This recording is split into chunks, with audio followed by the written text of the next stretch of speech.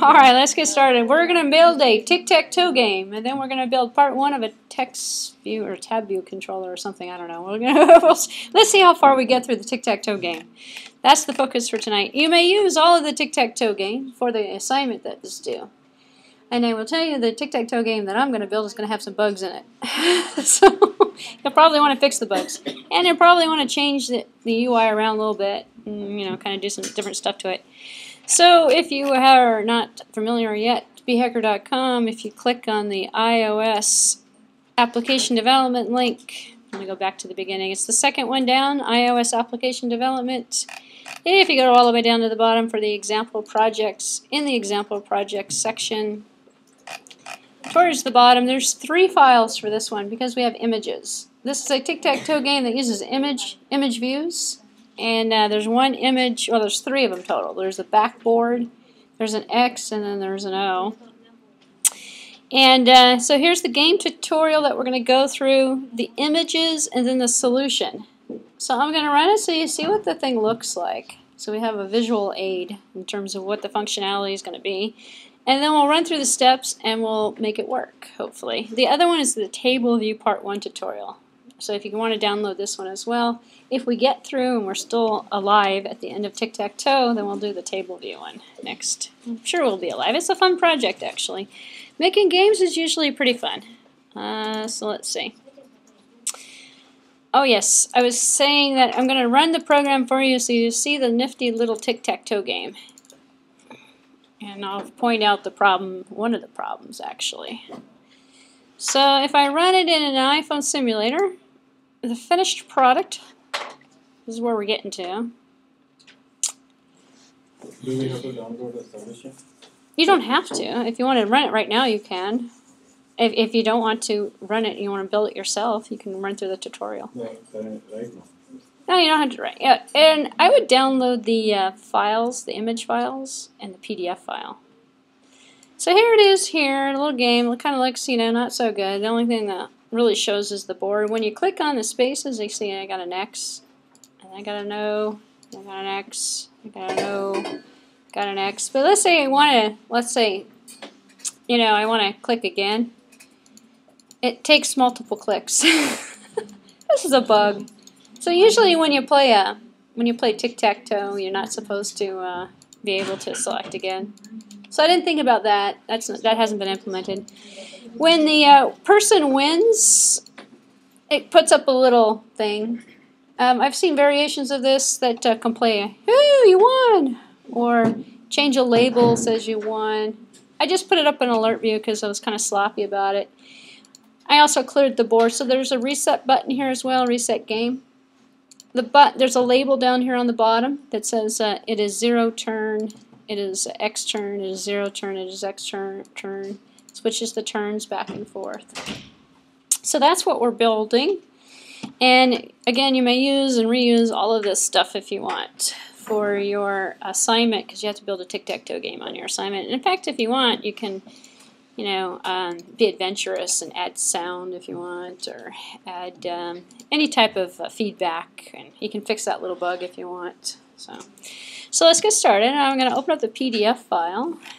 And I'm going to create a single view application project. I call it tic-tac-toe, yes. Can we uh, attach a database with this game to uh, add the scores of the and every time X wins or every time O wins? You can, and if you were here, um, if you were here last two weeks ago, you could use um, you can use a database SQL database for it if you want. Yeah, sure. Um, so you can keep track of how many um, times the person's lost and won. Yeah. yeah, that would be perfect actually. Or you could use core data.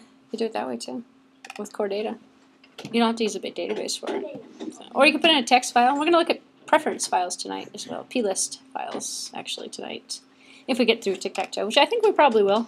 So going pretty fast. All right, so go ahead and open up Xcode for those people who have Xcode installed. I'm going to clear this thing out because it's like too cluttered for me. Well, actually, it doesn't really matter. Uh, create a new application. This time we're going to create a single view application. Let me just make sure I've got the instructions here correct. Single view application. Call it tic-tac-toe or another title of your choice. You can create an iPhone, an iPad, or a Universal. I'm going to create an iPhone application, actually. Because it's a little easier for me to test. I like the iPhone application. And I'm going to call this one a Tic Tac. Tic Tac. There we go. I get to call it Tic Tac Toe if you want. Uh, don't use the storyboard. We don't really need it for this game. We just have one interface. And go ahead and click on Next. And I'm going to put it uh, on the desktop.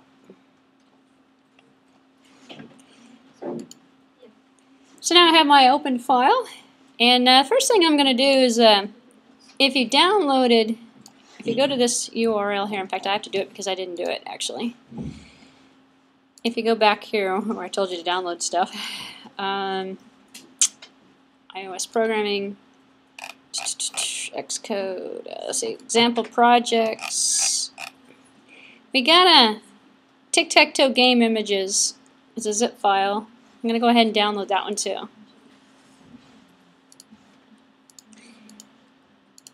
And then uh, I'm going to put the images in the project by dragging and dropping them in. So I'm going to um, you know, make some room here. Here's that file I just downloaded. It's called TTT Images. If I open it up, I see I've got my X, my O, and my board.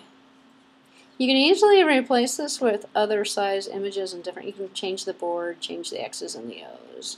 Just, in fact, if you go online, there's a ton of images out there for tic-tac-toe. Everybody wants to create a tic-tac-toe game for some reason. I don't know why.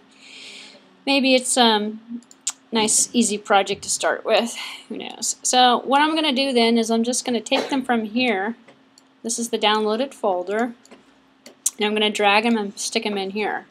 So, and I'm going to copy them in because I don't want to replace. So I'm going to take this guy here and I'm dragging it to the folder. It doesn't really matter where you drag it in the project, but what you want to do is make sure you have copy items into destination groups folder selected. This will copy it in instead of using the original reference. If you use the original reference and then you move them and delete them, there goes your files. so it's a lot safer just to copy them in. So do it with all three images to we have our images in the game. I'm just dragging them into the to the main folder here and I'm making sure it says copy. So I've got my three images in the project and I've got, so I see I have an X, I have an O, and I have the board. So it's kind of a plain looking board, but it's okay. Alright, so I'm going to go back to my directions. So the game will work by touching a square on the game board, as we've seen already, and we'll place an X or a 0 depending upon whose turn it is. So we'll uh, check for a winner after the user places the mark on the board. And then if there is no winner, then we will update the text label to say that it is uh, the next person's turn. So we stop when there's a winner. And we'll also create a button for the user to reset the game. So copy the supplied images into the project. Create the user interface. This is the hardest part actually, it's not too bad. Open up the XIB file or the main storyboard by double clicking on it. We're going to drag the UI image view to the window and then resize it to so that it's approximately 300 by 300 and then set the image to the board. We're going to put the board on first because we're going to put it underneath. We can actually switch the order if we don't want to do it this way, but it's kind of easier just to start out this way. So I'm going to click on the XIB file, which I've got right here.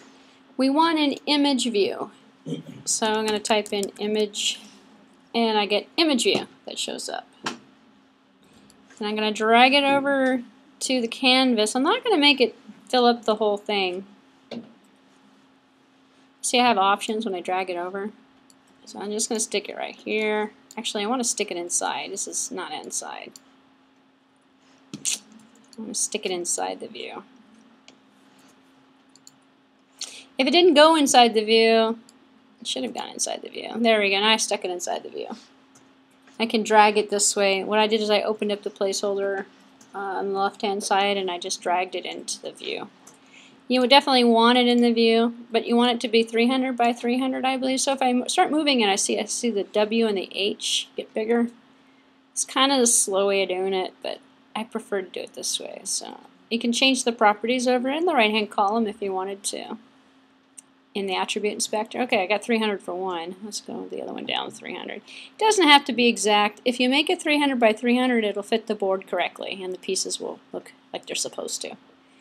Uh, but you can actually change the you can change the whole thing if you wanted to. Let's see. Ah, I got it. 300 by 300. okay, so I'm going to stick it right here. Actually, if I wanted to, I'm going to change the background color, make this one a little different than the other one I did. There we go. So now I'm going to have a white board on a green background for mine. So, Alright, so that's where my board is going to stick, but my board image isn't here yet. So I got to put my board image on here. So on the right hand side over here, I'm going to select the image. That's why I put the images in there already, because I want the board. So select the board for the image which should be in the project already. If it doesn't show up here, that means it's not in the project. So you should have that so far. Now we're going to stick one, two, three, four, nine more image views on here because we need images that are going to show up for all of the different things. But we don't have to attach any images to it because we're going to do it programmatically when the user clicks on the image. So we're going to take the events and work with it. But instead of doing it one, two, three, we're just going to put one in, set it up, cut and paste it. So drag another image view over, little guy here, and uh, doesn't really matter what you size it as, because we can resize it. Actually, you can stick it in here and resize it if we want to. Here, I'll resize it so it fits in the little space. That one looks pretty good. Over here on the right hand side, select user interaction enabled. What this means is that by default it's turned off. If you turn on the user interaction when the user clicks on it, hovers over it, does touches it, long drags on it, does something to it, it'll pick up the events. Uh, so let me make sure I'm following my instructions correctly. I don't believe I gave, oh, I did a 100 by 100 is the size of the little piece if you're using these images. Um, so drag the UI image view, we did that, 300 by 300. Drag another one over, call it so 100 by 100. Check the box for user interaction enabled. See the screenshot below. Here's the screenshot below. It's got this one here. So I'm going to go ahead, this is that button here you wanted to press. So I'm going to go ahead and change it to 100 by 100. Oh, I was actually kind of close. It was uh, 100 by 100. There we go. Now I can click on it. Are we good so far, or should I slow down? The, the image Yeah. view, how do you how do you get the image view? Uh, Um, you, implement? you drag it over Yeah, I've got it. Uh, I've got like both- this. Yeah, got them both dragged over, but I don't have the window that says image view. Okay. Let's see. Um, you are missing. Yeah, this, this one's three hundred by three hundred. Oh, oh, I'm sorry, your attribute, so which one's Oh, You had it on the wrong, you wanted to beat it on, if you hover your line over there, it says it shows the attribute. Attributes inspect. Okay, thank. That's where you're gonna put the image on there. If you're not seeing what if you're not seeing what I'm seeing up here, it means you haven't clicked on the right section of the side panel. So that's attribute inspector is what we want. Um, the rest of it we can check has different properties for different things, so connections and stuff like that. Okay, um, so now we're ready to cut and paste to do it because I'm not going to do this for the entire time.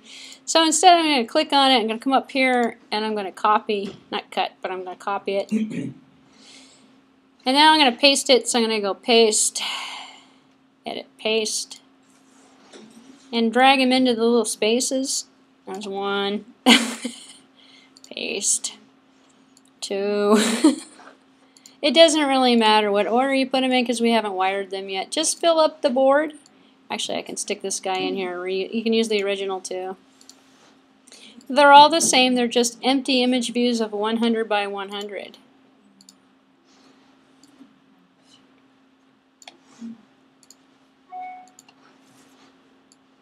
Paste. There we go.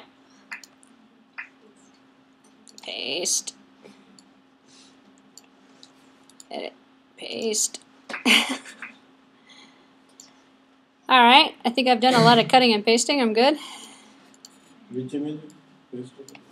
Oh, it was the 100 by 100 image view. Empty.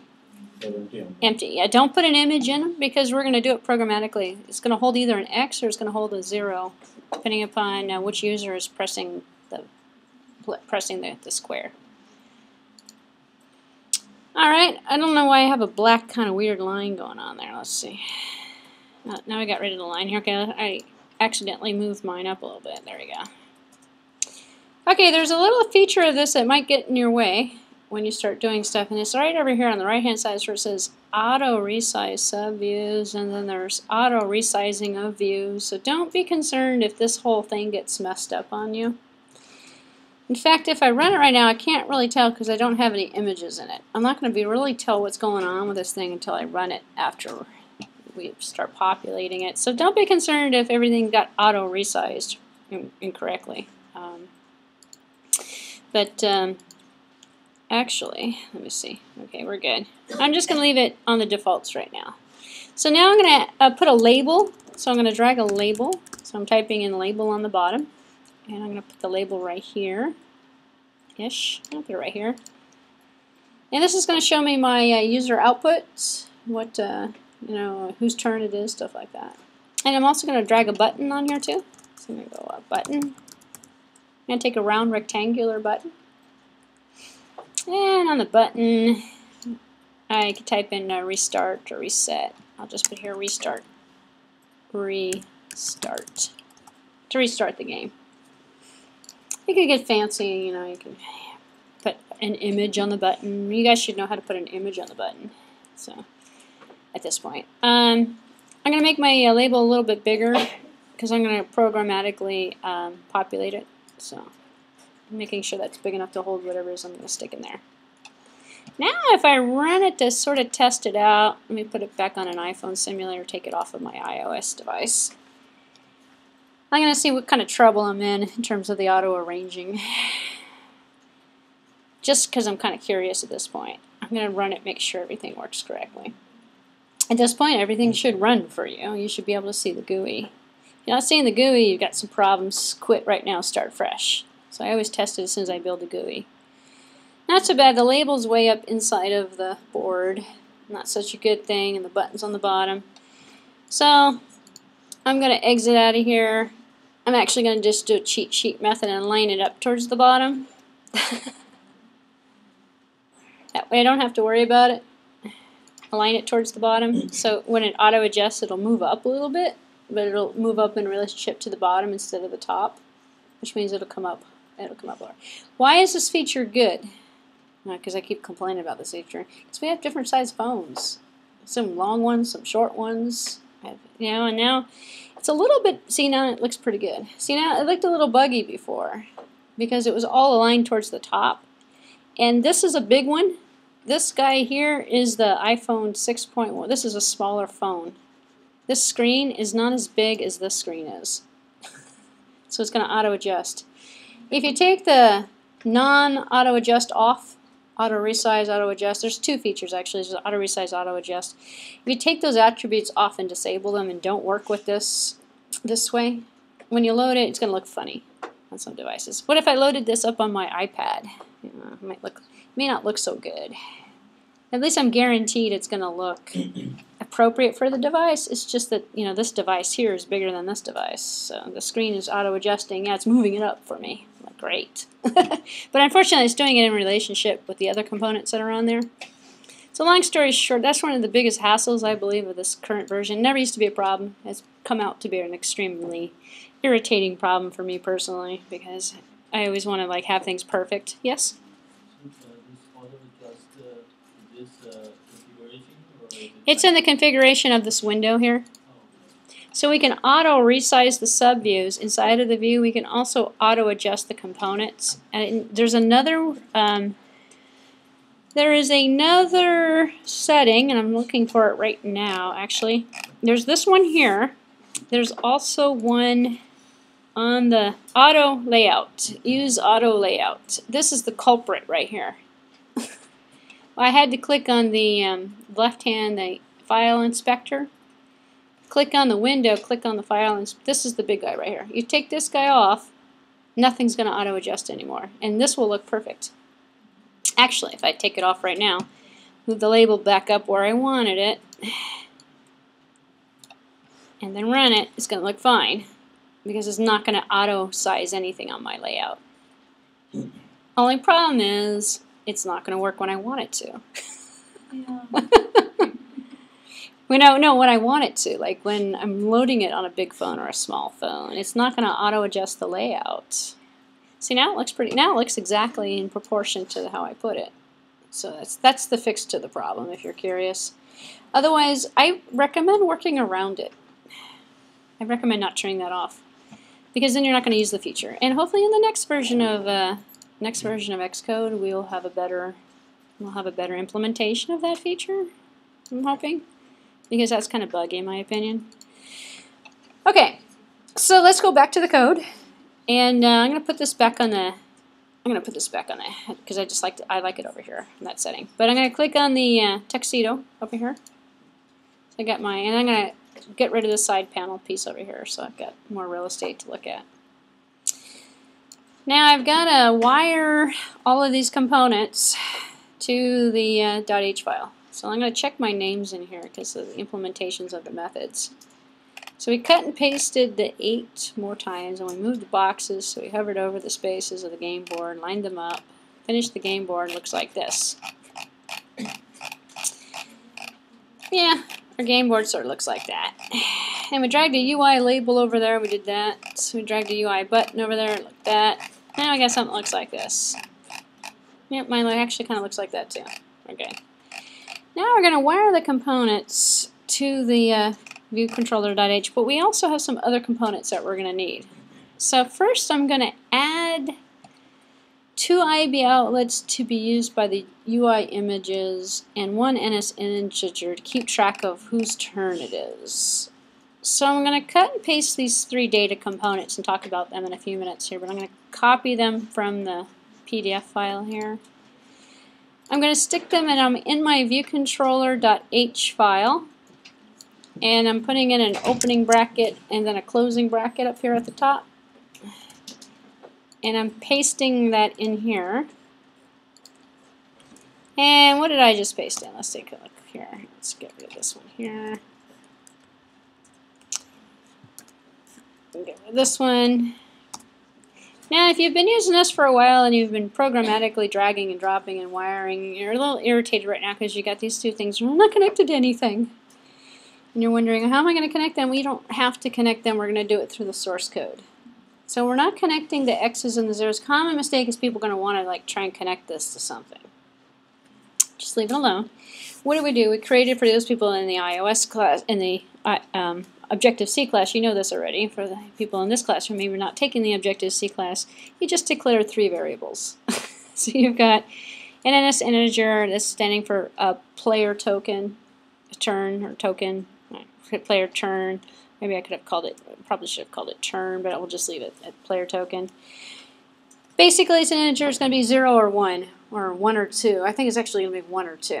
Because we have player 1, player 2, it's easier than doing characters and going x and 0.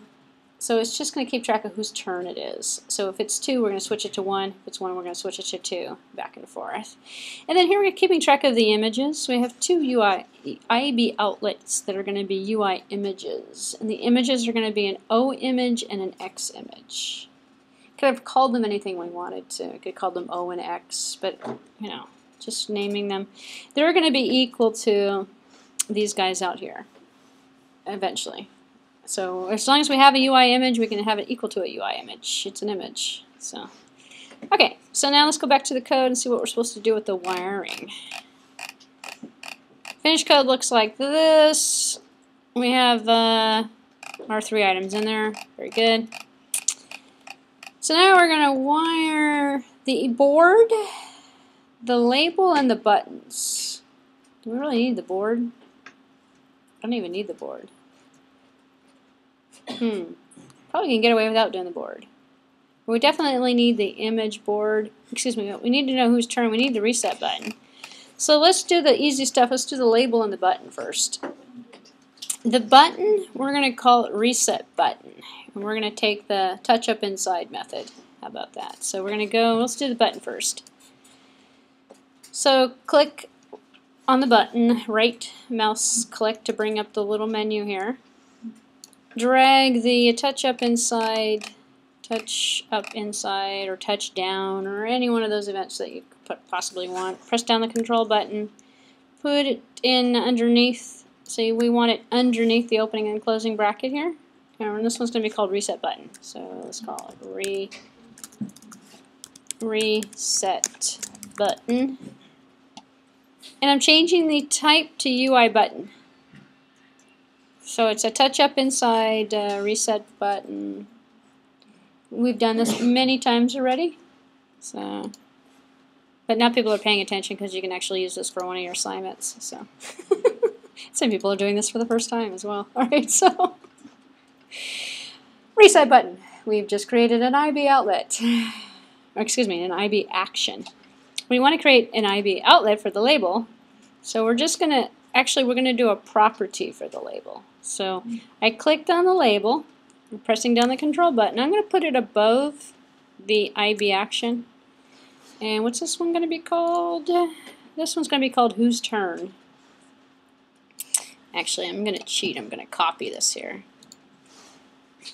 Because I'm terrible with uh, typing. So paste. Now it's called Whose Turn, and it's a UI label. And it's now a property. So I'm going to go ahead and press connect. So now we know if we hover this over, we can see that these two are connected. I don't like the length of this one. I'm going to make this one a little bit bigger. There we go. Just in case I get a little wordy with my descriptions. Okay, so I'm going to go back to the PDF file here and see um, we could do uh, the board. Yeah, let's do the board. I don't. Oh, yeah, actually, we need the board. Do we need the board?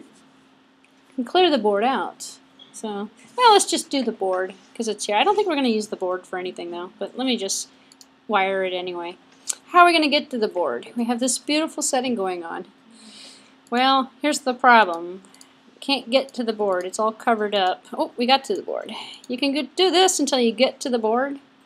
Or you can do what I like to do, is just move one down and then click on the board. the board's going to be a property as well. So I'm going to put it right in underneath the other property, so I'm going to control drag it down here. I'm going to call it board. UI image view, yes, okay, we're very good, press OK. You can select you want going to view three. I'm sorry? You can go to view and uh, then you can pick the image and do that. Can you do that? Yeah. What do you mean? No view The view. Oh, you mean over here? objects, right? Yeah, you could. Yeah, actually, he made a good point. You could just select the board this way. You could do that. I'm kind of lazy. I don't know. I don't like to. Oops! Now I'm moving the label. You, you know what? There's like half a dozen different ways you can do that. Pick whatever way you feel is the most appropriate for your style of, of whatever. Okay. I like to use a mouse too, so I'm a little odd. Oh, actually, you have a mouse too. That's good. Yeah, I'd love to use a third three button mouse. Or this is a two button mouse, but yeah. I hate the, the touchpad. All right. Because I can never, like, it's too much work to touch the touchpad. All right, so now, next we're going to wire all eight of the buttons to UI image view IB outlets label. We have to do them all separate. Remember with a calculator program, we took all the numbers and we wired it to one, and we took all, that was great because they were all used together, all the functionality. How do we know when someone clicks on one of the images if they're an X or an O? We could, we could wire them all together and then do an array with it. A little bit harder. So this is a bit redundant to wire them to IB outlet image views, but it's easier. It's easier abstractly. More code though, because we have to do this eight times. But to simplify the concept, we're going to call it S1 through S8. So the finished code looks like this with S1 through S8. So go ahead and drag and drop over the IB outlet and call it, is it, we're going to create properties. So I'm going to stick all my properties together. I'm going to stick the properties above. I think I'll put them above here, actually. So I'm going to systematically go through, and this is, again, probably better way of doing it. I'm going to press the control button, and here's number one, S1 now I'm going to do number two. S two. Um, yeah, nine of them. Three by three. Three. it doesn't really matter which one's which one.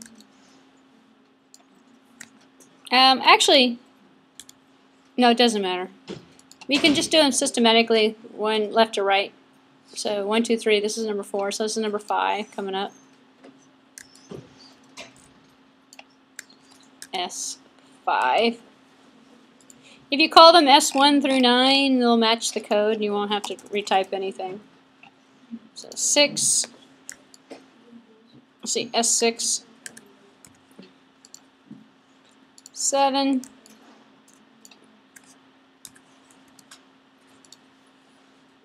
Eight.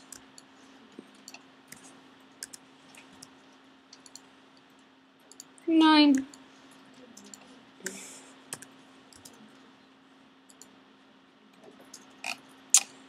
Okay, we're good. I'll give you. I'll talk for a few minutes while you guys catch up. Then, most people haven't finished yet. So next, we're going to add the IB action to trigger the touchdown event on the UI button. That's the easy one. That's the reset button. Um, call the event. Oh, we already did that one. We actually we did the reset button. Let me just make sure. Yeah, I did the label and the reset button first. So I did the label, the label, the board, and the reset button we already did. So make sure we got that, which is we should have it already. So let's see. We're going to need to add the three new method prototypes that we're going to implement ourselves. This again takes a, there's a reset board method that gets run by the reset board button. Not directly linked to the button, it's in fact the button's going to call self set board, reset board. Not done not not the most efficient. However, it's done this way because then we can change the method. And then we can have the method called by other methods if we want to run it. So if you have the mm-hmm. activity, then what I'm explaining is why, why, why move out? Why create another method for something that's going to be run from a button touch when we can just put it in the IB action for that button touch? It's because if you put it outside of that button touch, you can call it again and again and again, and it works more uh, generically. And it's just going to reset the board. So you figure it's kind of behavior you're going to want to stick outside of the button. Because then we can reset the board when a person wins, which is what we're going to do. So that's why we're creating a separate method for that.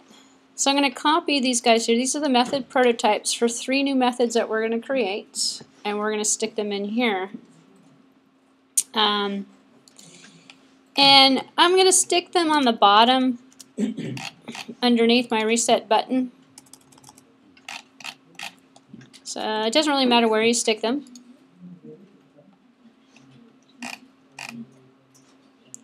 And my code uh, word wrapped, so I'm going to put them on separate lines. So I'm still in my viewcontroller.h file. I've added three new prototypes, method prototypes. One's called update player info, reset board, and check for win, which is basically all the behavior that we're going to do. You can have another one that says play sound, or another one that says, um, I don't know.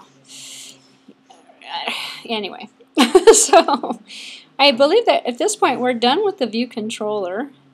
H.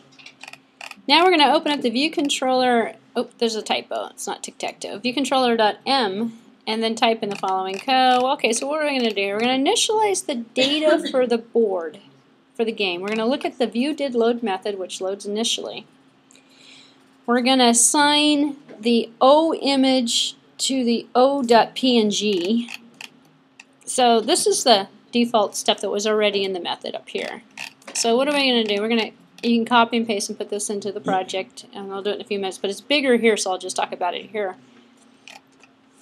In the viewcontroller.h, we made those two images, they're image views. We called it O, L, O image and X image. So now we're going to say UI image, image named this. And so we're pulling and we're assigning from a method call that says image named, and then we have o.png and x.png, where there are two images. So these are the parameters that are being sent to the method call to assign the image name, and we're creating UI images objects, and we're assigning it to the UI image object that we have. So on the UI image object, we are pulling the the names of these files. And the names of the files are uh, two images that are located inside of the project because these are the ones that we added in there already. Then we're going to set the player to player number one. So play token is going to be equal to 1. And then we're going to update the label so that whose turn is going to be equal to x goes first or whatever we want. So I'm going to go ahead and copy this code in. I'm actually going to just take, because I don't really need the super view did load. I'm just going to take this stuff here. You could copy and replace the entire method if you want to. So I'm going to go to Xcode. I'm going to switch it over to the .m file. Um, if you just came in, we're doing the tic-tac-toe game that is in, here I'll just show, because you're not the only one who just showed up. There's a couple of other people who showed up as well. It's tic-tac-toe game tutorial images and solution that is in the um, um, iOS application development subfolder. It's in, uh, I believe it's in example projects. So if you go into example iOS application development, example projects, for anyone who has come in since I started this, example projects, it's down here. These are the files we're working with. We're running through a tic-tac-toe game. And we just finished the user interface. Alright, so now we're in the .m and I'm going to go and find here the view did load. I'm going to remove this little comment so I have room to stick my stuff in underneath. And what am I going to stick in here? I'm going to paste in here. And it worked. Good. Cutting and pasting always doesn't. So.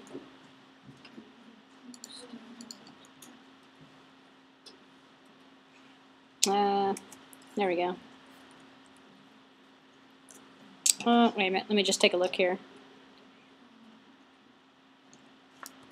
That is part of the comment. okay, good. no, no, no, it's not. It's not part of the comment. Uh, yeah, let's just take a look here. Oh, we didn't synthesize. We did not synthesize the um, whose turn. So it was going to need an underscore. So let me take a look here. I need to fix that actually in the next time I run it. This is not part of the uh, instead if we put the underscore in and the problem goes away. We could fix that problem up here. In fact, I'm going to do it so I don't have to do it again. I'm going to remove that little interface, we don't need it. If we add an at synthesize and we put in whose turn, then we're going to get an error message down here, but this one's going to go away when I take the underscore off. So it's a good example of what happens when we uh, don't synthesize. You just put the underscore in. Does it really matter one way or the other? It's just accomplishing the same thing. So now I'm going to take a look at my .h file and see if there's anything else in here I want to synthesize. Um, the label. Yeah, we'll see what happens when we go. We'll just add it as we go. So I think we're probably actually pretty good without that, just putting that in there. We'll see. We can actually just automatically synthesize all of those properties if we wanted to, but we'll just leave it alone. We'll live on the edge here. So everybody, I hope understands what we've just done. We've set the two images to equal to the two images, the x's and the o's, and we set the player to equal 1. We don't have to synthesize the player token because I believe he's an NS integer. And we're not actually trying to get or set anything. We're not trying to, this is setting the text, which is why we had to do it. So if you want to run a set or a get method, inadvertently, inexplicit, explicitly or inexplicitly on the data member, you have to synthesize it in order to have those members available to you. If you're just assigning it a value, like an NS integer, you don't have to do that at all. And I believe this one is an NS integer. It is. And we don't have to synthesize that, actually, because we're not going to run it. And we probably will eventually, but we'll see what happens. We'll wait until we get an error message. Okay, so we added it now so that when the game loads up, we've assigned the x's and the o's, and we set this to x goes first. Well, I'm going to change this to x will start the game because I gave myself more room on my label. So Makes it a little bit more self-explanatory. So now we're going to add the method to update the player info, and then we're going to call this method from um, other methods. So this is the one here that we've added to it, and uh, it's called player update player info. So I'm going to copy it, and I'm going to put it below the method that I just. Uh, let's see, where am I going to put it? I'm going to put it on the bottom actually. Mm, I'm going to put it right above reset button. So make sure you're in the .m file, and I am pasting it in. So let me talk about this method for a little bit. It's pretty self-explanatory. Um, actually, we always set the integer. We're not getting any properties from it, so which is interesting. We're just checking to see if it's equal to something. Update player info. So what do we got? If the player token is equal to 1, so we're doing a comparison here with the two equals. So if it is equal to 1, it's going to come back a true or false. So this evaluates the true or false. So if it's true, then player token is equal to 2. We're going to set it to 2. And then whose turn dot text is going to be, it is zero turn. It is, um, it is zero turn, or O's turn. Oh, here we go. Not O's turn. It is O's turn. I wonder if that apostrophe, no, I don't think that apostrophe is going to cause a problem. We'll see. And then in the NS log, this is optional. I put this in here for testing so that when we're running it, we can kind of sort of see it. And then it also demonstrates what the NS log is really good for sometimes to see what's going on.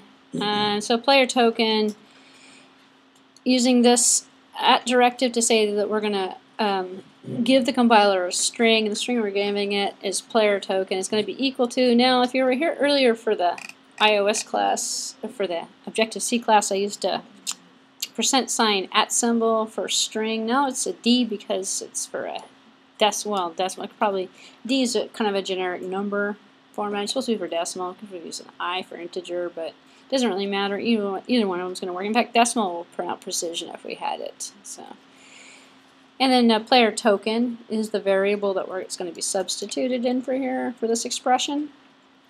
And this is just for the NS log. It's not going to have any effect on the application running. It's just going to show up in our log on the bottom of the screen. And then um, here I've done an else if, and the else if is going to work. The if is not going to work. Because here's what's going to happen. In fact, I see this. In fact, there's a guy who took the, this tutorial. Actually, came comes from uh, Deedle and Deedle text is where it comes from. There's a couple different variations of it on the internet. One guy insists upon posting, and I've already commented on his blog, and I said you can't use an if on that. It will always be the same player. if it's one, change it to two. If it's two, change it to one. It's never going to be two. it's never going to make it out of there. Anyway, so I'm putting an else if in here because I don't want this to go. If this one is already gone, I don't want this one to execute. If you put if and if, if, if or else, if you put an else in there, it's still it's not going to work. So uh, anyway, so long story short, I prefer to use an else if here to get the functionality to work correctly. Uh, so if player is going to be equal to 2, yeah, it's going to be equal to 2, then uh, here, uh, if it is equal to 2, player token is equal to 1, switch it to 1.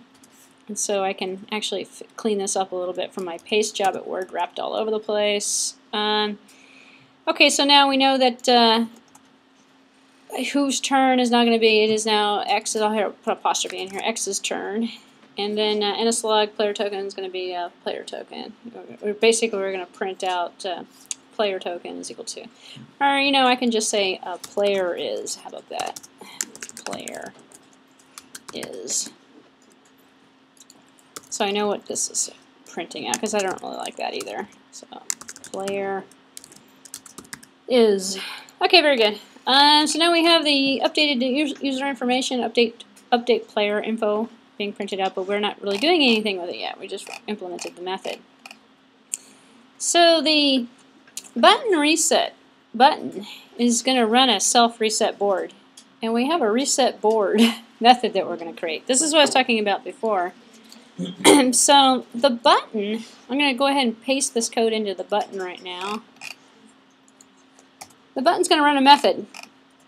So as I was mentioning before, I could just put the code for the method inside the button. But then we can't reset the board from anywhere else. We could reset the board when the player wins. reset the board, which is what we're going to do. So we can call it twice if it's you know easily accessible. Otherwise, we're going to keep calling the button over and over again.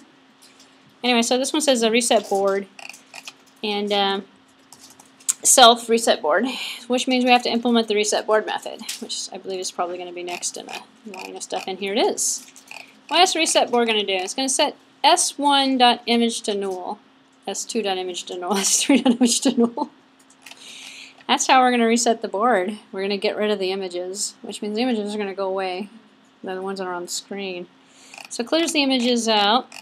And then we're going to set the player token back to 1, which is what we did originally in the view did load. Start it back. And then change the uh, whose turn text this is that label that's showing up. Change it to X goes first. So I'm just going to do this because I don't want to worry about cutting and pasting errors anymore. So I'm just going to come back here.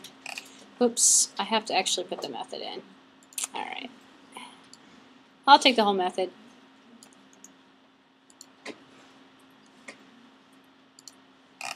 I'm going to put the method, uh, eh, I'll put it right here, above the other one.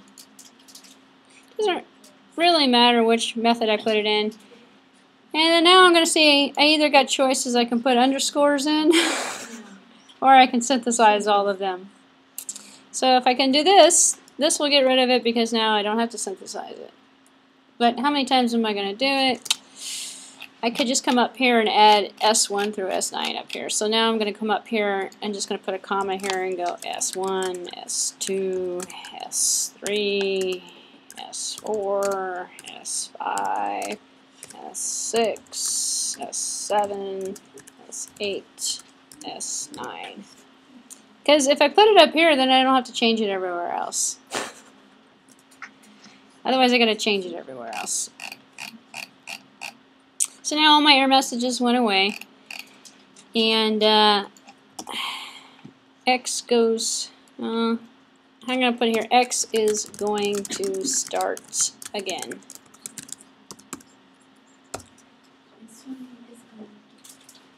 Uh, and S1 is commented out because of my pasting job. There we go. Thank you. Everything else looks good? Yes. Problem with cutting and pasting is the word wrapping. Especially with those comments in there. Alright, very good. So now I'm going to go back to here and see what's going on here. So this is the method that the reset board is going to use.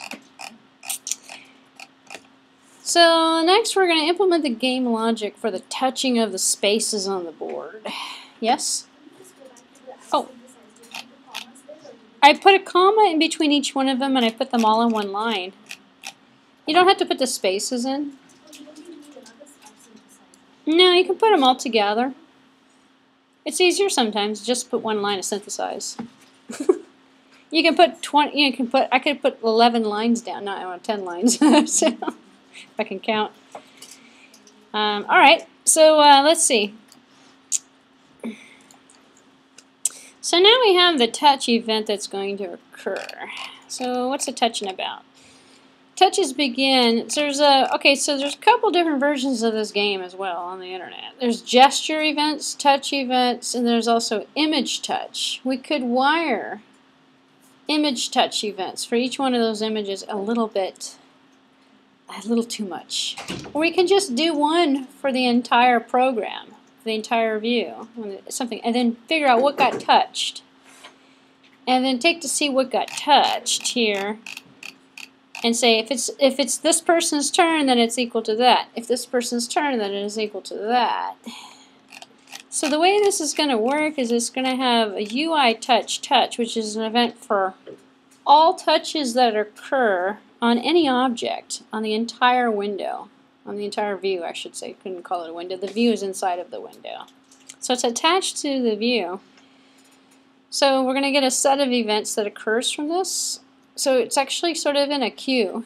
You can actually capture them or you can just take them one at a time in terms of what's going on. so the event is for uh, the touches that begin. There's a couple of different variations of this method as well. So we can do a long touch, short touch, touch, touch. We can do gesture touches. Not going to do that for this particular one, but I do have a gesture one that takes a, a you can stretch a monkey out. So it's the monkey. If you haven't seen that one yet, it's on my YouTube channel. you throw, put objects on top of objects, drag things around, and that's for gesture control. This one is just going to be touching. So, all right. So, the UI touch touch. We have a new object here created, and this is going to get all the objects touching events. So, check to see which UI image view was touched. So if the CG rectangle contains the points, well, S1 frame, S1 is image 1, S2 is image 2, S3, etc. The frame is the boundaries of the image object as it was placed on the canvas there. It's all in a frame, it's in its own natural frame. So touch location is in view in the self from the view. So touch location in view self and then from view. So you're getting the, from the view the touch location. If it's inside, which is what this test is, and this comes back true if you touched inside of S1 inside the view and the view is self. So you can have multiple views and actually detect multiple different touches within different views and in different components inside of each one of them, depending upon what you're looking for. So this one's looking at S1. If it is, then if the player is 1, then set the image to X. If the player is 2, then set the image to O. And then move on. There's only one touch that's coming through. Actually, I haven't tested it out. I bet if you loaded it up, because there's no exit out of here, I bet if you put two fingers on and touch two squares simultaneously, will you get them both populating? Good test. That might also be another bug in this program. Okay, will it detect multiple touches simultaneously? No, one of them is just going to come in. oh, actually, it should take two. Do you have it on your phone? Is it working with two? It takes two? so you can do two squares at a time? But does it put two X's? Oh, it doesn't. Okay, that's good. So we don't have a bug there. Okay, good. Alright, I believe it's going to go one at a time, singular, into the queue.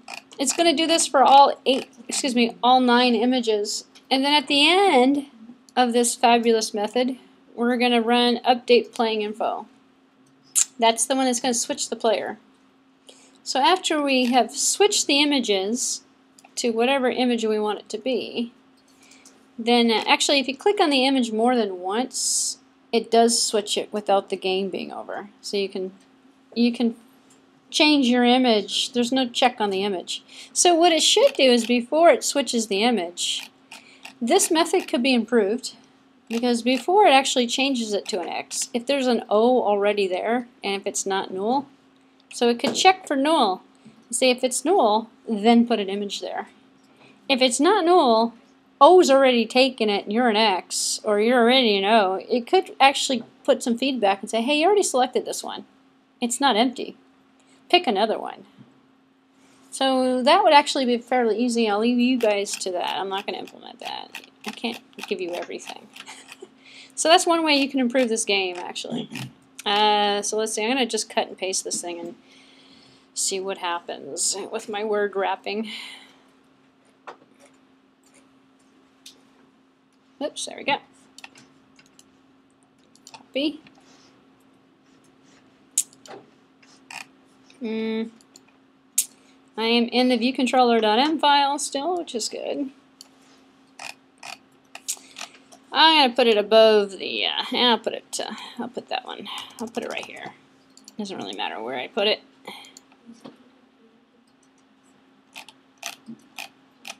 No red marks yet. That's a lot of code I just pasted down. Seems to have worked. I got lucky. We'll just leave it alone. Sometimes when you paste it in there, word wraps all over. So now we can run the game, see what happens. Uh, it should work, but there's no check for a winner. Uh, and then, so we can add the implementation for the winner. Let's just see it work before we put the winner in here, because then we'll see what, what the what the issues are. So I'm going to go ahead and run it.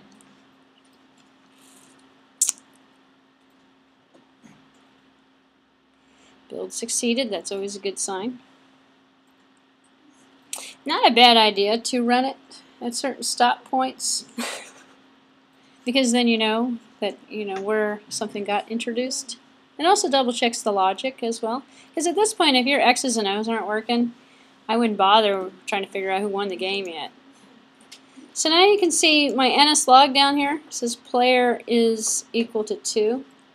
Because I just clicked on this button over here. Now if I click it again, it says player is equal to 1. This is the bug I'm trying to tell you. It doesn't see if the space is already taken, so the O's can just dominate everything. But there's no check yet. We haven't put it in yet. So you can see down here the NS log is helping me. So you, you can put that in there and you can figure, oh, well, nothing's happened. But I can go here and say, well, it's X's turn, it's O's turn. I can say, oh, it's so it's changing appropriately. And let's see if the restart works. It does. So my functionality so far has been pretty good. My board's visible. Everything looks good. So now I gotta figure out, well, what do I want to do now when someone's gonna win, right? I could just update the label here and stop it. But you can do that. You can you can figure out what you want to do. I put some code in actually. I, I did. Uh, let's finish the project. I put something in there to actually um, show that someone has won. So let's see what I did. Uh, so let's see. The method uh, will check to see if someone has won. So check for win. Well, when do we want to check for the win? Maybe after each player plays? Or maybe after we switch the player. Ah, so let's see what I put in here for the check for win. We have horizontal wins. Yes? If your reset button's not working, make sure you put in the reset code. You have a call to the method reset board and your reset and your button is wired. Oh, that's a problem. You have wiring problems. that's the second time. Alright, so and she knows it too. She's like, check to see if it's wired. Oh. Alright, so it's a common mistake. Alright, so uh, here's the method here. Let's see what we're going to do for checking wins. So we have horizontal wins and we have vertical wins. Do we have diagonal wins? I think we have diagonal wins in here. Diagonal wins all the different variations. This is nothing more than a bunch of if-then statements to go through to see if something condition has been met. So let me just look at the horizontal one. I'm not going to go through all of it. I'll just take one as an example. If s1.image is equal to s2.image and s2.image is equal to s3.image, yeah, they all match. And s1.image is not equal to null, which means all three of them are in there, and all three of them are equal to the same thing, then the person must have won. So what are we going to do? We're going to return yes. So we're just going to return this a Boolean method. So it has bool as the data value. It's going to check each one of squares, come back yes, yes, yes, yes, yes, yes, yes. Or it's going to return no. So if it hasn't returned yes, then it's going to return no at the very end. So we're going to assign this value to a variable and then check the variable. If player is 1, ah, then we can continue. I mean, we're not going to continue. So let's see. I'm going to cut and paste and stick this in here. It's just going to do all the different combinations. It's fairly complete, actually. It's not too bad. And again, there's another way. You can do a case switch on here if you wanted to. You don't have to do it this way. In fact, I think the deal and deal example does a case switch on it. This is, I think, easier. So, because then this can just return. So let's see if this works. I'm just going to paste it right here. Hopefully it works.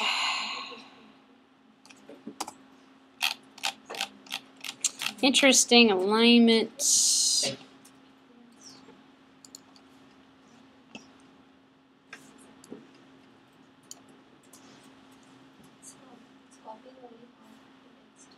It only copied half the text?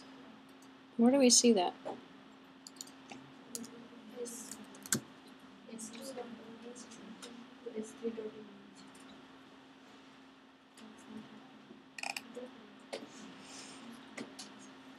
Hold on one moment.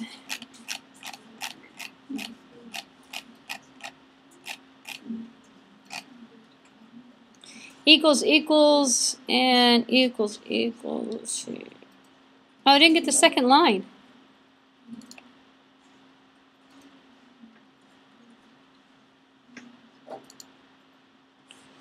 Address expression must be L value or value. Oh, yes, yes, yes, yes, yes. Uh, it didn't take my blue. Is it for all of them or just this one? Let's see. Oh no.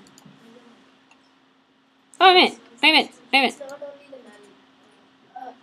S1 dot image is equal to s2 dot image and s2 dot image is equal to s3 dot image. This is what we have to check, right? Yeah, it's missing out all of. Why is it doing that?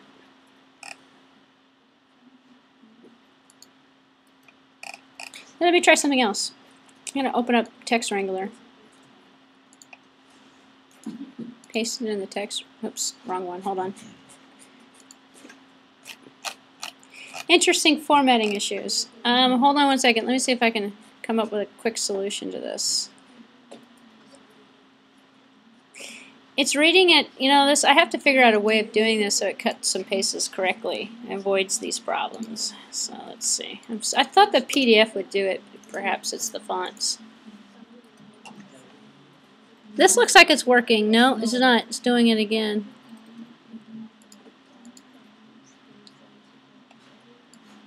Mm. Alright, so I'm going to manually change it, fix it. Or you know what you can do?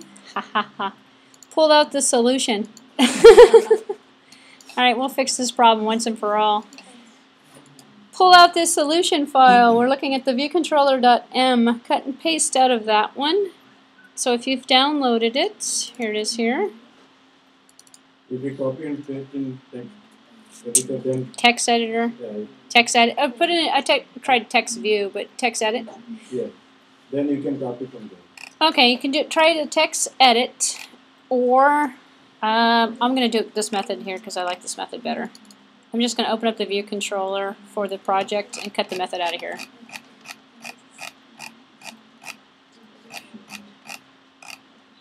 Here it is.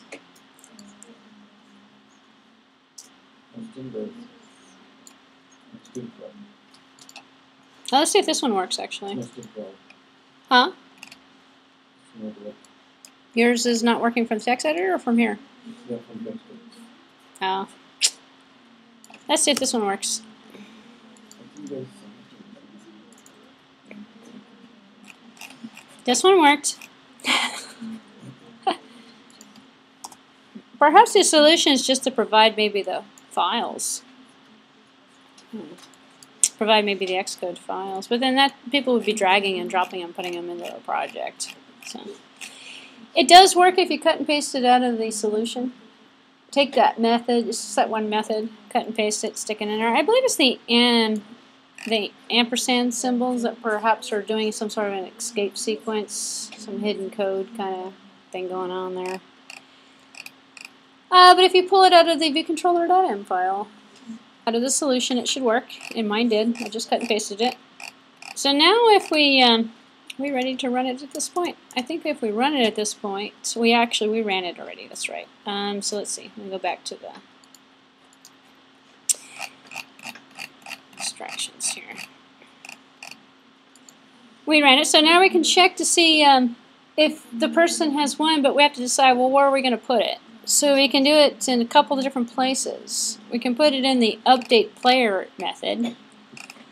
Because after everybody clicks on something, the touch event is having us call the update player to switch the player. So that's where I chose to put it, um, and it seems to work okay there. You could possibly uh, put it, um, where could you put it? Um, in the touch event as a test first to see you touched on something, but did somebody already win? But then the other player is going to do it first. So let, let's put it in here. So here's the code for it. Hopefully this will cut and paste. And now I'm going to stick it uh, inside of the um, update player info. So decide if you want to report the win and lose working tic-tac-toe game. Okay, so the code that we're putting in here before I put it in there gets all messed up looks like this. Here's the boolean self check for win. So check for win is going to come back as true or false. It's a boolean method. So if it comes back, yes, there was a win because somebody horizontally, vertically, whatever won. So if this comes back true, then somebody won. So we're going to send up, in this particular case, a UI alert view. So I'm taking and making an instance of the object UI alert view, calling it someone one. That's going to be equal to UI alert view and initialize it with the title, there's a winner. And then the message is going to be someone won. So you have to figure out, actually this is too long, I'll just leave it like that. Somebody won. Whoops, I can't delete that. so, um, and then uh, the delegate itself is receiving the message. And then the cancel button, title, okay, to cancel the UI alert view. And then the other button, there's no other buttons. So we're setting them to nil.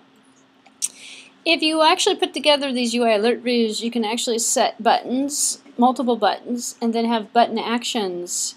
So, so you can set up action button for each one of the buttons, and then have the buttons do something if you wanted to, um, which is kind of fun. Um, and then someone one show, so show the UI alert view, and then now I'm going to reset the board. If I don't reset the board, then the person has to manually reset the board to start over again. So it's kind of nifty to put it all together into one. So let's see what happens. I'm going to stick it in the update player. I'll put it in the first part of it. I don't remember where I stuck it last time. So let's see. Update player. It's going to be way up here. Update player. Um, we'll just stick it right here in the beginning. Because it's going to reset the board. It's going to stop. I got some interesting pasting going on here, but it looks like it has worked. Got some, I'll just leave it, actually here I can fix it. Take out some of the, well that actually looks okay. I'm going to make this method a little bit shorter. Someone won. Uh, play again. So you could optionally um, figure out where you wanted to put that check in. You could play around with it. Um, maybe put a label out there instead of an alert window. Um, reset the board automatically and maybe put some totals. You can keep track of the number of wins. In fact, someone had mentioned earlier it would be a nice idea to combine this week's example with last week's example, use a database or the core data. Store the store the activity. Because then every time you play the game, well, does it really matter? It's tic-tac-toe. But, you know, every time you play the this is not tic-tac-toe, is like something more sophisticated maybe. You could keep a running total. You can actually even upload that total to an internet website or something if you wanted to. Update something through a web view if you wanted to, actually. So, plenty, plenty of things you could possibly do with this to enhance it if you wanted to. You don't have to do anything too elaborate. So. Uh, now if I run it, it should hopefully work. Let's see what happens.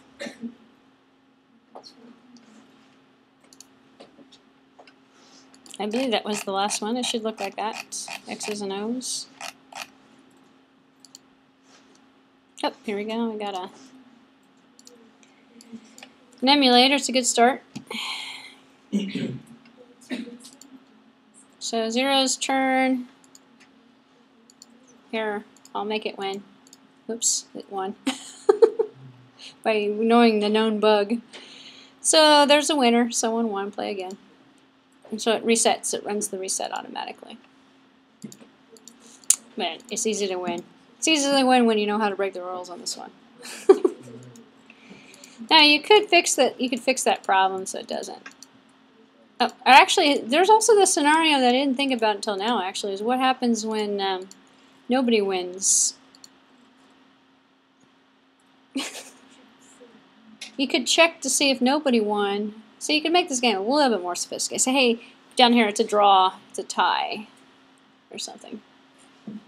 So that, that you know, how would you do that? Well, then you'd check, you'd have to have number of turns and keep a counter to say if these things have been touched nine times, and if your counter is more than nine and uh, you're still doing this, you should be done. So go ahead and say, hey, it's a draw. That, would be easy to fix. Or you could start it over again, actually, and say, hey, start again. or, all right, questions on tic-tac-toe? So that just made the assignment that less thrilling. Yes? Um, I'm stuck in the add property for the uh, wiring the board, the board, and the board boost time. Oops, I closed it. Um, at property. Oh yes, you mean way up here in the viewcontroller.h file, we have properties. You know the board we never used. I don't think we used the board. Did we use the board? We cleared out all of the labels to zero. We didn't. We didn't reset the board. You can leave out. You can actually improve this by getting rid of the board. We didn't use the board for anything. We could every game. You know, actually, what you could do to make this even more interesting is every new game change the board. The board is an image, just a cross image. So you could maybe make a change the background on the board for each new game. And if you did that, you'd have to have the board property because you'd have to take this board and have the image change the image on the UI image view to another image. But what was your question? I missed it. Um, no, there's not. Oh, okay. Um, so the board was unnecessary, and then um, that was about it. I think if I, I'm gonna clean this example up. When I clean it up, I'll take the board out, and then I have to fix. I have to make it so it. Uh, but the, see, these are still are not uh, linked to anything, so that bothers some people for some reason. But not always gonna be linked. Anything else before we move on? Yes. When I press Check to make sure it's wired. I'm just kidding. Yes, I'm sorry. What was your question? When I press reset button, it shows me X or zero in my phone. The other side is out here. It shows you what? X or O. One letter. The first Uh, let me pause this for a second here. So we all have working tic-tac-toe games. Very good. There's just so many things you can do with the tic-tac-toe game. So actually, games are kind of fun to program. So here's another one. This is okay. So we're gonna start in, um, which is good. It says 7:30, 8:30. Actually, we're gonna have plenty of time today. We're going pretty fast today for some reason. Um, the next one is in a three-part series. I'm just gonna show you part number one tonight, and uh, it's kind of entailed. Part number one goes through a lot, actually, um, and it's a, we're going to build a table view application, and we're going to use plist files, and we're going to load the files into the emulator. So we're going to do some stuff we haven't done yet. Um, we're also going to add a few different things to the project manually. So we're going to start with a base non-generic application, not a single view, but an empty application, and then build it from scratch as well. So a little bit, um, little bit more advanced. It's in a three-part. So when you get done with this one tonight, save it. Save it for next week because next week we're going to continue this one. And if you don't save it, don't worry about it. There's an example. you don't have to save it, but if you want to use yours, you can. If not, what we're running through is actually out here again, just to remind you guys that samples, no images for this one, but this one is under example projects. Ooh, internet's running slow. Someone downloading Xcode still? uh, up there it goes. Table view, part one tutorial, part one solution. So if you missed, if you you know can't get it, you don't have a computer with you tonight or something like that, don't worry about it. You can still do it next week. Next week we're going to do parts two and three. So you can't just I can't do them all in one night. It's just too much. All right, so now we're going to create a custom application here. So the table views are a great way to present information. A lot of you know if you go out and you look at some of a lot of these apps um, that are out, everything's got a table view in it for some strange reason. It has has some I think it has something to do with the way the ability to scroll through, especially on a small device, and it's a great way of organizing things. So table view is not a bad thing to get used to. There's a really cool tutorial out there, or something about bugs, the bugs, bug something or other. It's good, but it's um, it just works with images, and images are actually pretty easy to put inside of table views. So this one's a little bit. Uh, this is going to work with information reading from a file. So we'll look at XML information from a file and load that in as well. So, all right. So uh, what do we got here? We're going to create a table view. Uh, we're going to look at in this tutorial. We're going to look at uh, how the table view application is constructed from scratch without using the table view template, and then uh, populating the table with the custom cells, and then how to add and delete information from the table. Okay, that's in part two actually. And how to save and load the table's data to a file. We won't save it, but we'll load it from a file in this one. We have to manually put it in because we can't save it. so, and you'll see how that's done, which is actually kind of enlightening. And then in the third part, uh, basic build, uh, excuse me, will be the final product from the builds from part one and part two.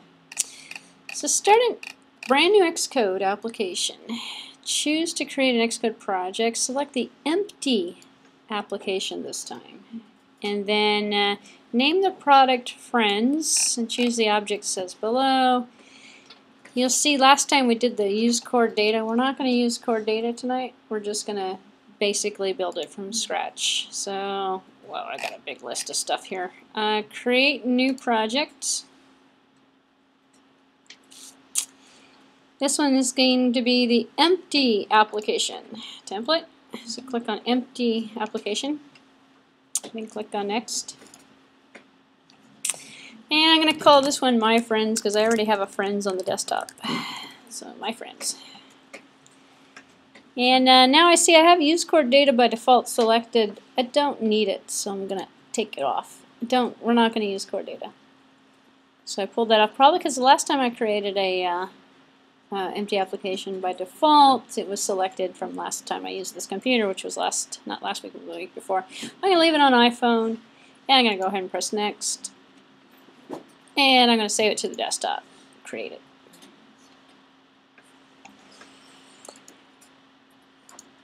So now you see on the empty application, well the other one had a core data component in it, this one doesn't have anything in it. This is about as bare bone as you can get. I have an app delegate. Great. That's about it. Supporting files, kind of supporting files, not too much in here. I don't even have an XIB file in here. I don't have anything in this project. It's empty. nice. Good way to start. Alright, so for the minimalist. Otherwise you gotta like delete stuff out of it. And then you got the app delegate that's tied to something you've already deleted. So so in order for a table view to load a new view, when a particular cell in the table is touched, we're going to add this component as well, although we're not going to load it. We're just going to load the views. Table view needs to be embedded in a navigation controller.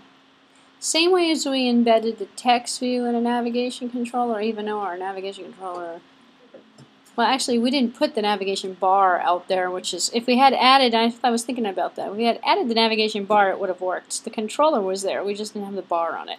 so, anyway, long story short, um, we're going to create a navigation controller, which is very similar to what we did earlier in the, the I, I, Objective-C programming course. We create a new UI table view controller object with an XIB file, that's going to hold the content and then a new UI navigation controller that will push and pop views onto it. So inside the controller, the navigation controller, we're going to put the table view controller. So it's a nesting of components to make make it work. And then when we click on it in the part two, it'll be opening up a separate view. So it'll be opening up another view on top of that. So create a new UI table view controller by selecting file new uh, file here. What do we want to create? We want to do a UI table view controller so we'll do that one first. And I just make sure we're not we, we're going to create an XIB for it for the user interface. And um, we're going to inherit our subclass from UI table view and we're going to call it friends view controller. So let me show you how that's done because this is completely empty, I'm clicking on My Friends. I can right mouse click and go File, New File, or I can come up here and go File, New File. Make sure that you're in the Cocoa Touch category up here, and we're selecting an Objective-C class. Just remember, everything's an object, simple in the form of class. Clicking on Next. Now it says NS object by default. We want to change it to the UI. So if I start, if I click down here and just take that out there and go UI, and then I go T, I get table view controller. and we're going to call this one, and then it says view controller here. Well, I'm going to call it, uh, I think it's called Friends Table View or something like that. What this is called. Friends view. Friends View Controller. So I'm just going to put the word Friends in front of it. So I actually I like to select out the subclass first because then it changes the name in the class selection and then I can just modify that. And if I leave the class selection kind of like, you know, with view controller on here, then I know this is a view controller. we want to select the option here that says with XIB for user interface. Don't click on the tagged for iPad because this is not an iPad application and we're going to run it on an iPhone simulator because I like the iPhone simulator better. It's a little easier to see. And we're not worried about making a universal app. Did you have a question? The view controller is not an XIB file. The view controller has a .h and a .m file that turn in, it's kind of loud in here, turns into a class object. The class object, that controller is linked to an XIB file. So if we click on this button, we get all three. We get a dot. In fact, if I click on the button now, I just click on next and save it. I'm going to see three new files are going to show up. That just showed up here. I got a dot .h, a dot .m, and then I get this guy. And I know it's a view controller for a tab, a table view, because I've got the table in here. So if yours doesn't look like this, you've either subclassed from the wrong subclass or uh, you didn't click on that button, you should have the XIB file. If you don't have it, go back and just do it again. and Just delete these files. So, um, but yeah, no, the from the model view controller, this is the controller and this is the view. So it comes in a set, actually. Yes? Uh, is it necessary for these files to be under supporting files or it can be anywhere in the project? Oh, it could be anywhere in the project. Doesn't matter. In fact, um, I clicked on supporting files, which is how come I ended up here. If I want them somewhere else, I just drag them. So now mine are in uh, the main folder. and it'll work. Just no problem. In fact, I can drag them up this way and change the order of the files if I want to. Put the XIB below it. We good so far? Okay, good. Um, Alright, in the resulting window, let's just make sure I haven't missed any of these steps here. Uh, file, new, new file. Objective-C class, Cocoa Touch group, we did that. Um, let's see. Very good, very good. Now we're going to do what we sort of did earlier with the app delegate. But and we don't. We're going to change the um, app delegate to include a UI navigation controller called nav controller the window's going to already be there. So, and we're going to set a new property here. And the property is going to be that friends view controller we just created. And so we have friends view controller. That's going to be property of type, data type, friends view controller. So to reiterate a point I made earlier for those people who are in the Objective-C course, we're creating new objects. Every time we put a set of classes in there, we've created a new object, and we're making an instance of this object, and we're making it in app delegate because we want the application to run this as the startup view controller that we're going to use for this application for this project. So I'm going to take my luck here. I'm going to cut and paste. Playing with fire here. I'm going to open up Xcode and I'm going to click on the appdelegate.h file. Here's a trick that I kind of like to do, especially when it, there's no code in here. I'll just paste it below, then I'll remove the original once I compare it to see what's going on.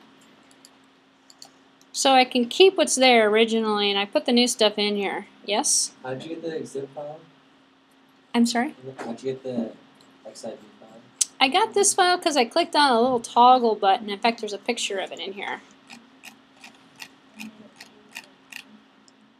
Right here, actually. You got to click on this with XIB. If you didn't do it, remove the files, recreate it, or leave the files there and create a new one. Um, as long as uh, you remember what the new one is named, you don't have to. Well, you can probably just delete the old one if you wanted to. If you don't click on this little button, you don't get the XIB file that goes with it. You want to make sure you have that XIB file, by the way, because once you start putting it in, and you can't, no, it's harder to change it later, but it's okay. You can still change it.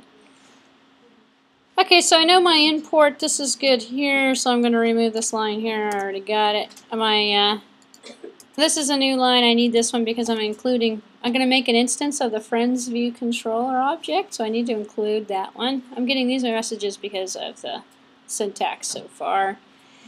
What I'm really looking for then is to kind of see how my interface looks like, and uh, it looks the same. So I know that this is going to be a good line of code, so I'm going to get rid of that. And just, I'm just double checking this to make sure I've got everything set. I have a property here already. This is for UI window, and then I got the end. So pretty inclusive here. Um, I do have some cut and pasting issues.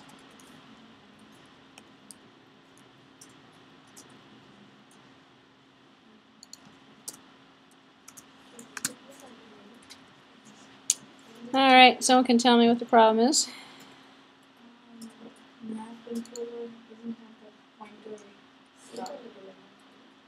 Oh, it got taken out. It did not. It should. It needs a uh, asterisk. I probably removed it. Windows got it. Uh, let me take a look at the original. Something in my cut and pasting job, something has gotten messed up. Uh, let's see. I should have just left it and put the lines of code in the middle of it. So now I have these extremely weird. You can delete that space. I think between there's a space. Is there an extra space here? Uh, no, Yeah, one above that. one above. Right here? No, it shouldn't have caused a problem. Yeah, there may be, I think, couple of.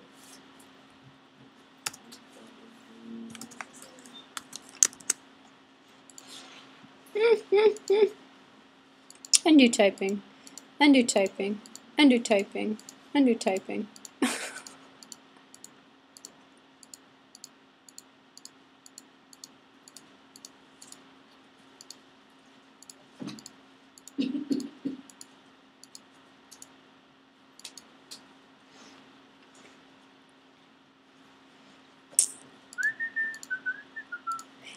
Actually, I got a better solution. App delegate. there it is, cut and pasted correctly. Without, and you know, it's the funny thing is, is there's interesting little formatting marks I can't see, and I think it has something to do with some of the symbols in the text. So pull out the, uh, pull out the solution, cut and paste the code out of the app delegate.h if that's. Uh,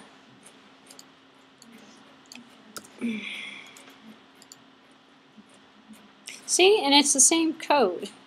Yep, but this one works because there's no funny characters in there. All right, so I'm working on a solution to that.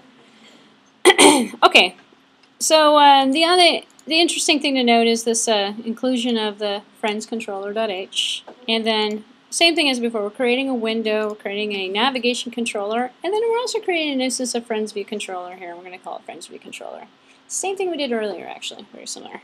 Um, so now we're going to go to the uh, appdelegate.m file. And uh, instead of cutting and pasting it out of the PDF, I'm going to cut and paste it out of the original. So I can avoid this problem and not have to like keep on going back and forth. Uh, so what are we going to do here? so the Friends View controller will uh, also be created a .m file, which we've got, and we're, so we've made changes uh, to it. So we're going to remove all the source code in the appdelegate.m and replace it by this one. This is going to include everything we need. So I'm going to look at this one first, and then I'm going to cut and paste out the original, so it's a little bit easier. So as before, we've got, uh, well, actually we'll compare, because I have the original here.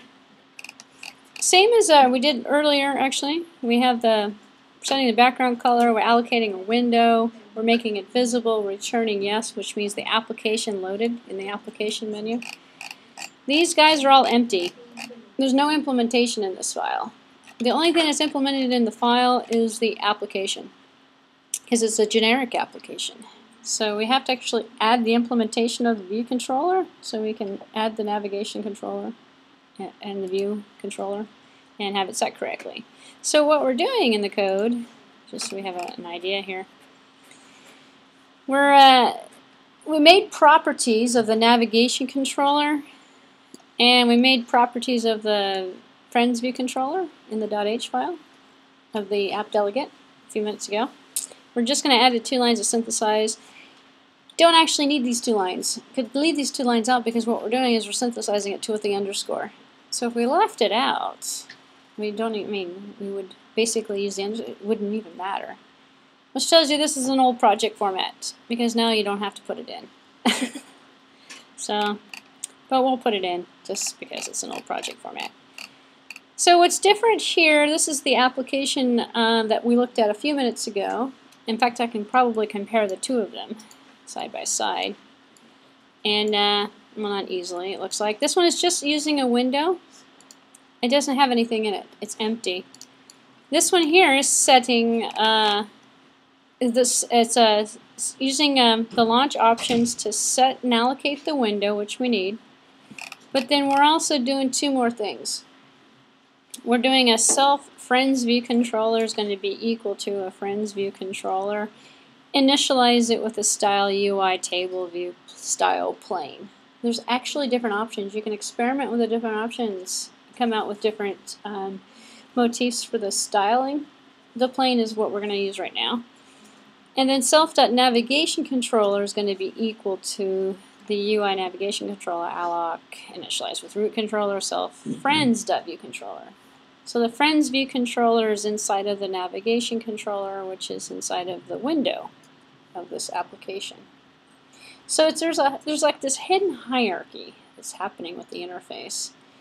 We need the navigation controller in order for the window to actually um, be functional.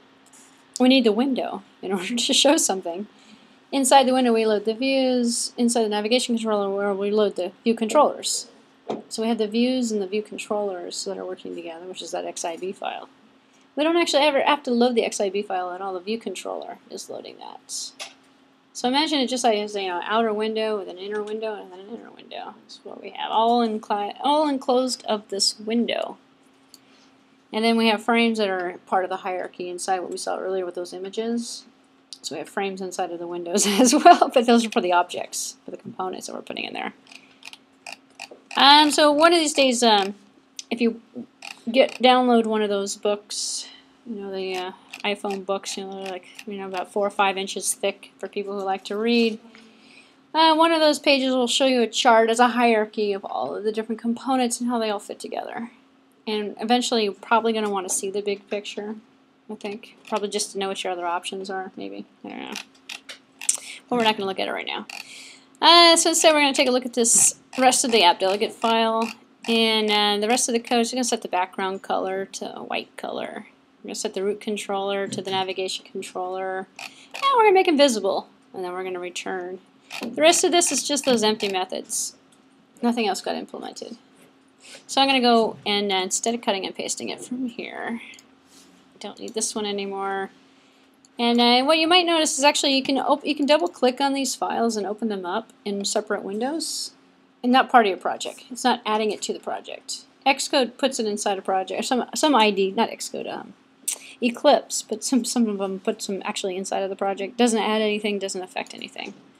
So just so I don't have to worry about it, I'm just going to take this whole file, copy it, and put it into here.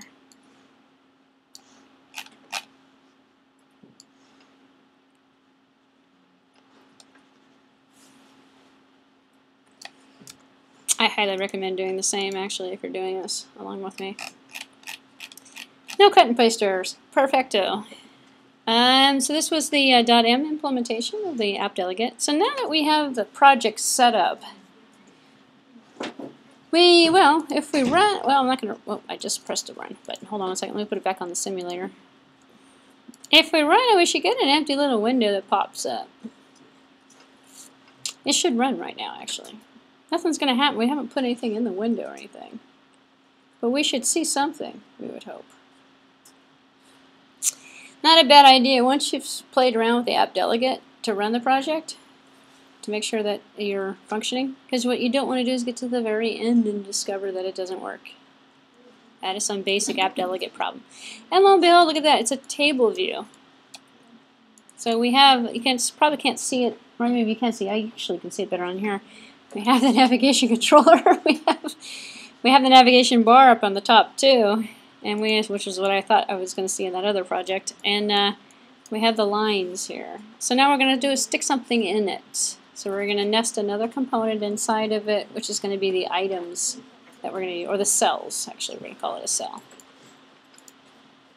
So I'm going to close the simulator. If yours didn't show up, it means your app delegate did not get uh, did not get assigned the controllers, the navigation controller or the table view controller. Okay. So let's see what we got next. So we're using the table view style plain. Remember that.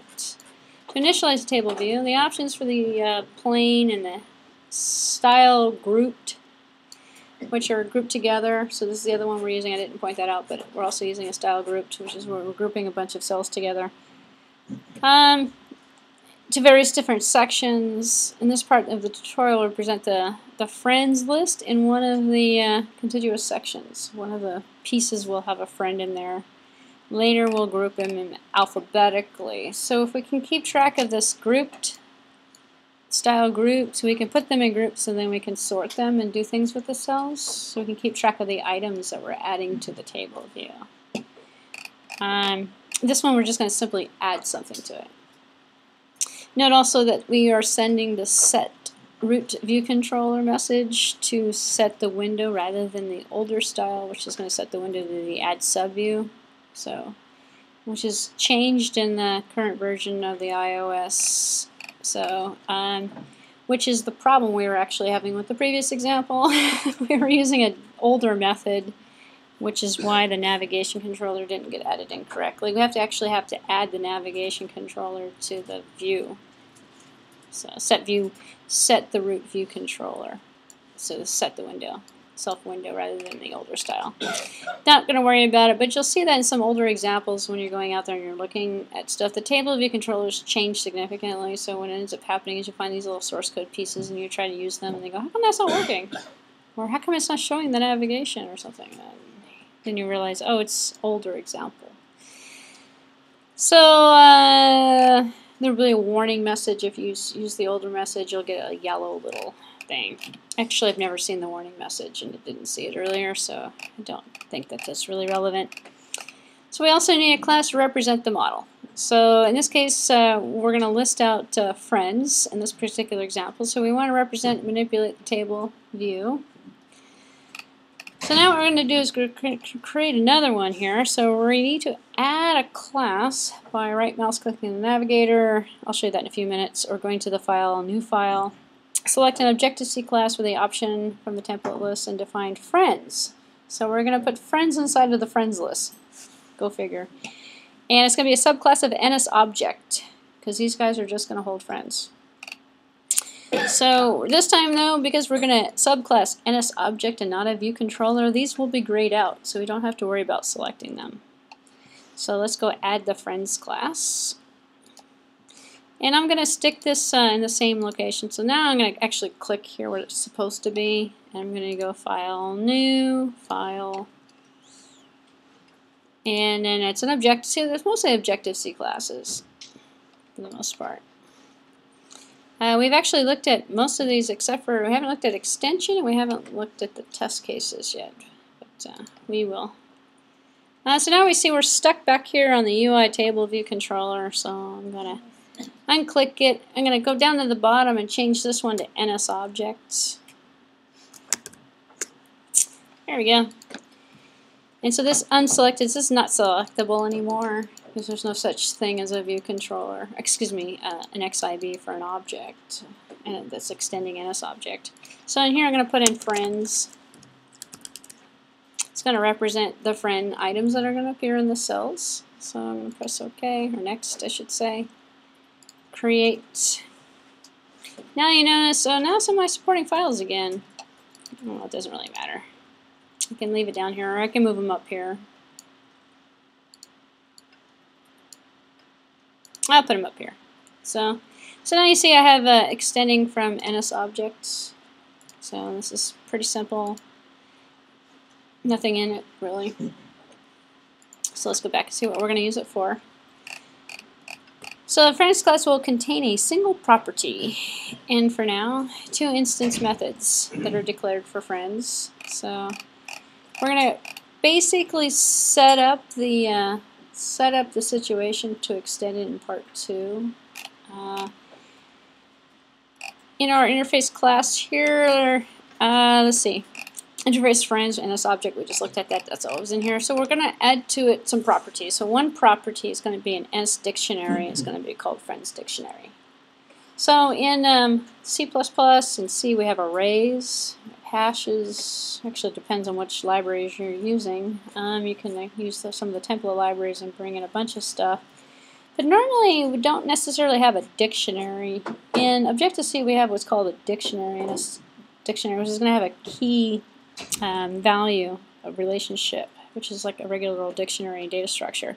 So it's very similar to an array, but it's a nifty little, nifty little um, data type um, that can be used.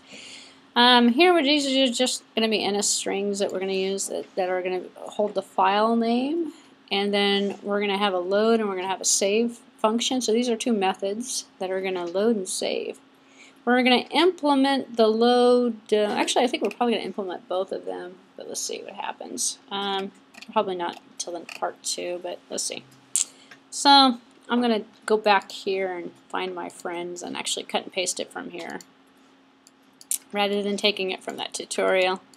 So now we're in friends.h. In friends.h, I could just drag the file and put it into the project. Actually, let me show you something else. well, you could drag if I wanted to. Instead of cutting and pasting, if I'm really going to take this technique, I could drag the file and pop it in here. Let go, and just copy it in. Well, it's probably going to give me an error message. Create the groups. Well, maybe not. Let's see what happens. Yeah, friends can't be copied in. So then I could go like this. Friends is just looks like that. It's just empty. So I'm just going to delete it. I'm going to move it to the trash instead of keeping the reference in the project folder because then I still won't be able to copy it in. So I'm going to move it to trash. Now friends is gone. So now I should be able to copy it in. All my friends are gone. I've deleted them all. Add to targets. Yes. Uh, you know what? It's already part of target. I'm going to leave it right there. Copy items into the destination groups folder. Now that's the other friends. Now I have new friends. Because I deleted all my old friends, now I have new friends. I didn't think about that, but it does sound kind of weird. Alright. Let's see if that's going to pro let's see if that's going to cause a problem. build succeeded. No. Okay. I hesitate doing that only because uh, I don't want to mess up the project properties, but uh, it seemed to have worked actually in that case. So I think I'll continue cutting and pasting though just to make sure. Because a funny thing happens when you delete stuff and you move stuff around, you get all these really weird project errors. But we're still functional, so I'm going to leave it alone. Alright, so I added, uh, I probably could have just written it faster, but I added the two prop one property and two methods. Yes? It's a new data type that you're being introduced today. It's like an array, but it's a lookup dictionary. So instead of it being a sequence or a list of information, a dictionary has two components to it for each entry, a key and a value. Yeah. So we have a, it's a built-in uh, data structure, mm, data type, I should say, data type that's being used. Yeah, it's a hash table. Uh, it's an implementation of one. So there's dictionaries have things for set key, get key, um, set value, get value, um, or actually it's not, it's just value key. Um, and you use it just like a dictionary. We're going to see actually because we're going to load from a, P, a plist file. We're going to put in some uh, data and load it into the dictionary. So why are we doing that? Because we don't read and write to files. It's kind of like why you put stuff in an array actually. Uh, because you don't want to have to keep, you just want to organize it. So it's a data type that's not in a lot of languages. It's in Objective-C though. Dictionary type. A lot of the scripting languages have dictionaries, like Python, I guess, I think has a dictionary. The .h or .m file? I was working with the .h file. Are you getting it in an implementation No. error on the, in the M? Shouldn't be. I have a warning that says it's incomplete Uh, because we have a bunch of stuff we just added to the .h. We haven't finished it yet. You know why we have that actually? Is because we have these two methods here. We implement we, we put in two method prototypes in a .h and we didn't implement them yet. So that's one of those things where it says, you know, incomplete implementation. It's like, yeah, I know, I haven't finished it, I haven't gotten there yet. that's uh, one of the most annoying things, but it's actually kind of good because when you're all done and you see that, then you still miss something. So it's not a bad thing.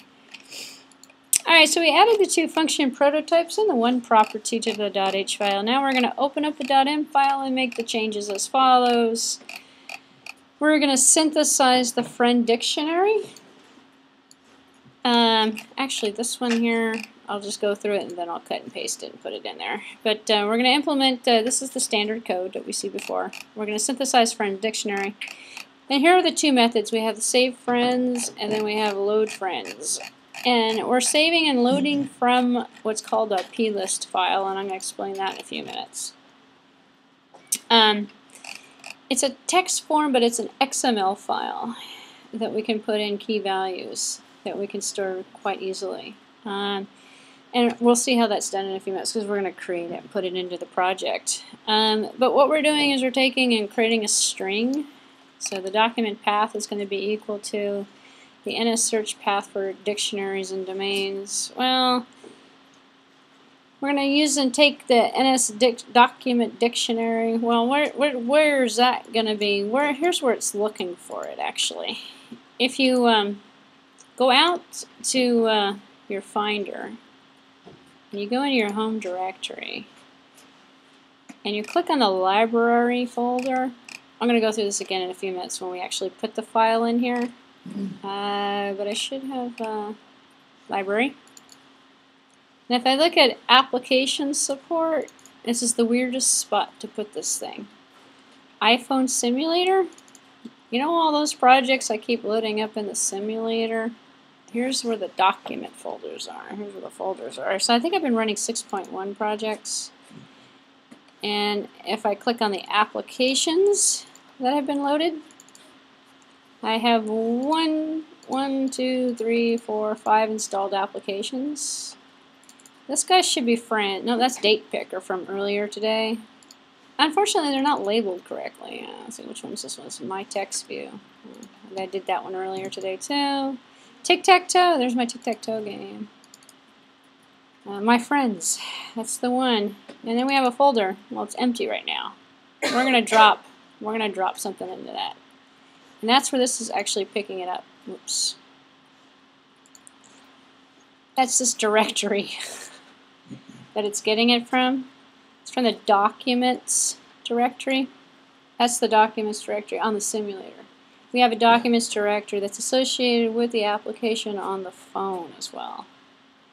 But we're running it on a simulator, so we can actually see that we can actually get to a file manager, install one on the phone, and actually see that documents directory as well. And if you uh, wrote the database, that's the same directory we put the SQL database in. So you can delete that database out from that example from last week if you're concerned about it taking up too much memory. But you know what ends up happening, however, is every time you upgrade the iOS, the whole thing gets wiped out. All the data gets removed. So you don't have to worry about it. Eventually you'll get rid of it. So, um, okay, so that's the documents and this document directory. That's what it's going to. We have a path that we're going to say to this file name that we're going to create. And the file name is going to be of a type plist. So I'll talk about that in a few minutes. It's an XML file, text file that we're going to edit inside of Xcode that we're going to put this dictionary in of our name and telephone number and email address because we're going to keep track of friends. Um, and this string is going to, it's just the save method. This is the save method. It's going to append it. So it's going to take a string and append this the string by appending path component to the file name and it's going to write to the so we're going to run a write to file and the write to file is going to automatically uh, yeah so there's not going to be any checking on it so it's going to be the friends directory friends directory is uh, the directory location where we have the uh, friends p list file stored, which is actually stored in the documents directory. The load is going to do the exact opposite. It's just going to load it up. So we're going to look at the document path. Well, that's going to be the search for the directories in domain path, the document directory, which is a method call on a built-in object that does the searching for us. So we're going to create the document path by running the method to search for the directories in the document folder that's called doc document directory. Take the path and it's going to be equal to the document path, which is nothing more than a string. Then we're going to take uh, and create a string to the, the path. Actually, after we have the directory, then we're going to have the file name and we're going to have the path so we can essentially put all the pieces together to look for the file, load the file. So it's going to be equal to the components, the dictionary, NS dictionary, dictionary with contents of file, plist path. So unfortunately this reads like Greek, or Braille if you're fumbling around with it. Because what you have are built-in methods that automatically find paths, find files, read files. So not like the old days when we had to open up a file, read it byte by byte, put it in an array, sort it, do you know, find the end of line. Don't have to do any of that stuff. Unfortunately, it's more confusing because now you have to think about it. It's like, well, it's all automated. Yeah, we're running a method call. The method call that we're running is the on NS. Oh, well, it's it's an object that we're going to create that runs a method to read in the contents of the file from the file that's provided. And the file that's provided is the file that we've created in the document path. How's that file going to get there? We're going to copy it in there. so long story short, we haven't created the file. We're going to create a file, we're going to copy it from the project, we're going to put it in this document directory, and we're going to open up the file. And we're going to read it, we're going to put the contents into the table view. And then eventually we're going to save the contents. I don't, I can't remember if it's in part of this, this one or the next one, but we have three parts to this. So, so let's just, uh, at this point I'm going to cut and paste and complete, put this code in friends.m. So I'm going to just Friends.m is pretty empty right now, so I'm just going to take this m out here. Actually, let me just, ooh, I just closed my window, which means I have to go back and find it.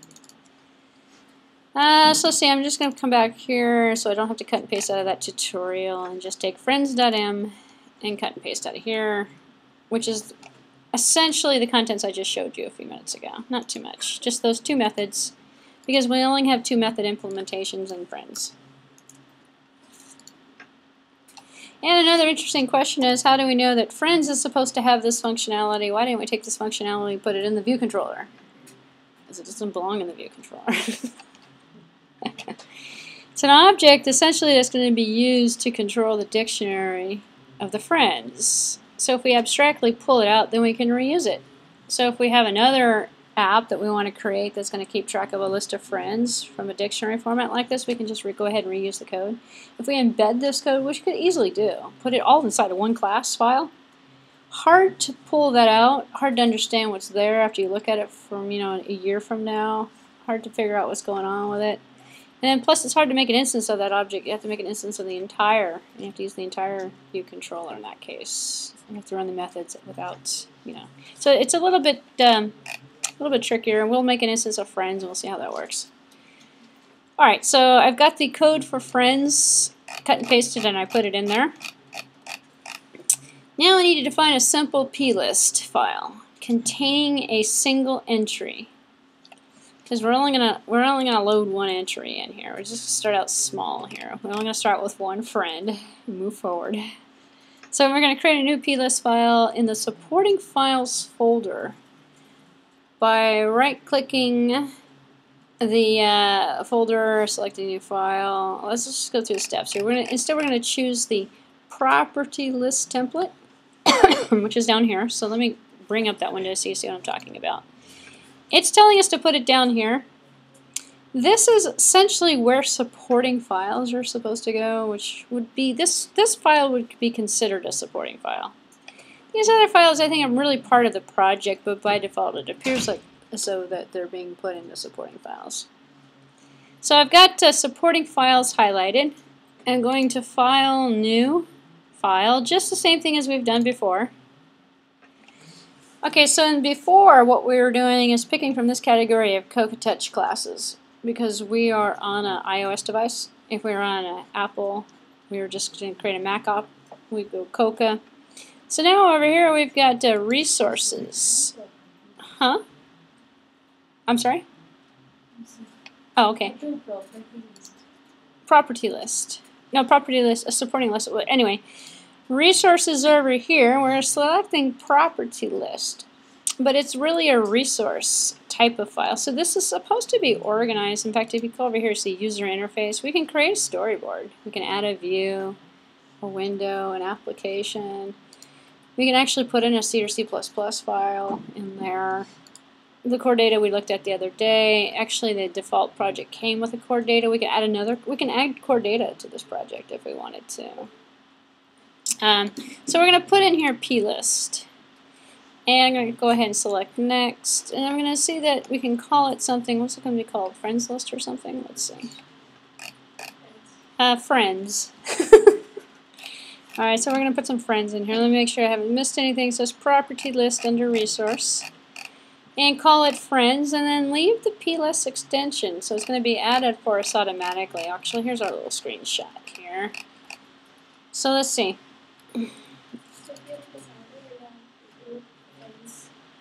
Yeah, we can. Um, it's not actually here. This is the name of the. Don't don't put it in. It gets added for you. So if I just type in the word friends here, just like the screenshot actually, it just has friends in there. It'll add the extension for you because it's of the type plist.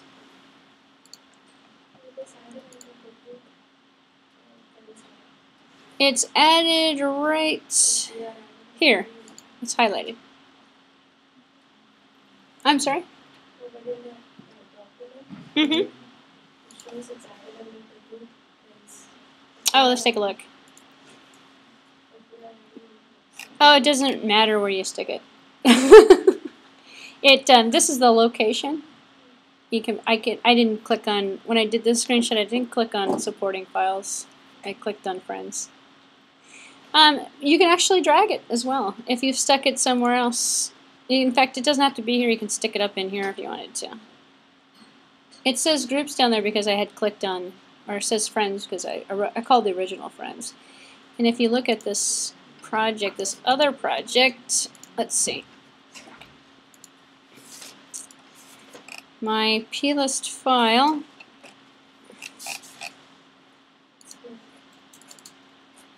is, if I go into the Friends projects, it's in, so it is, oh, everything's in supporting files on this one. yeah.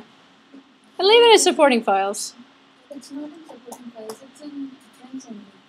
It's outside supporting files. And Oh, you're right, you're right, you're right. I'm sorry, I'm looking at this wrong.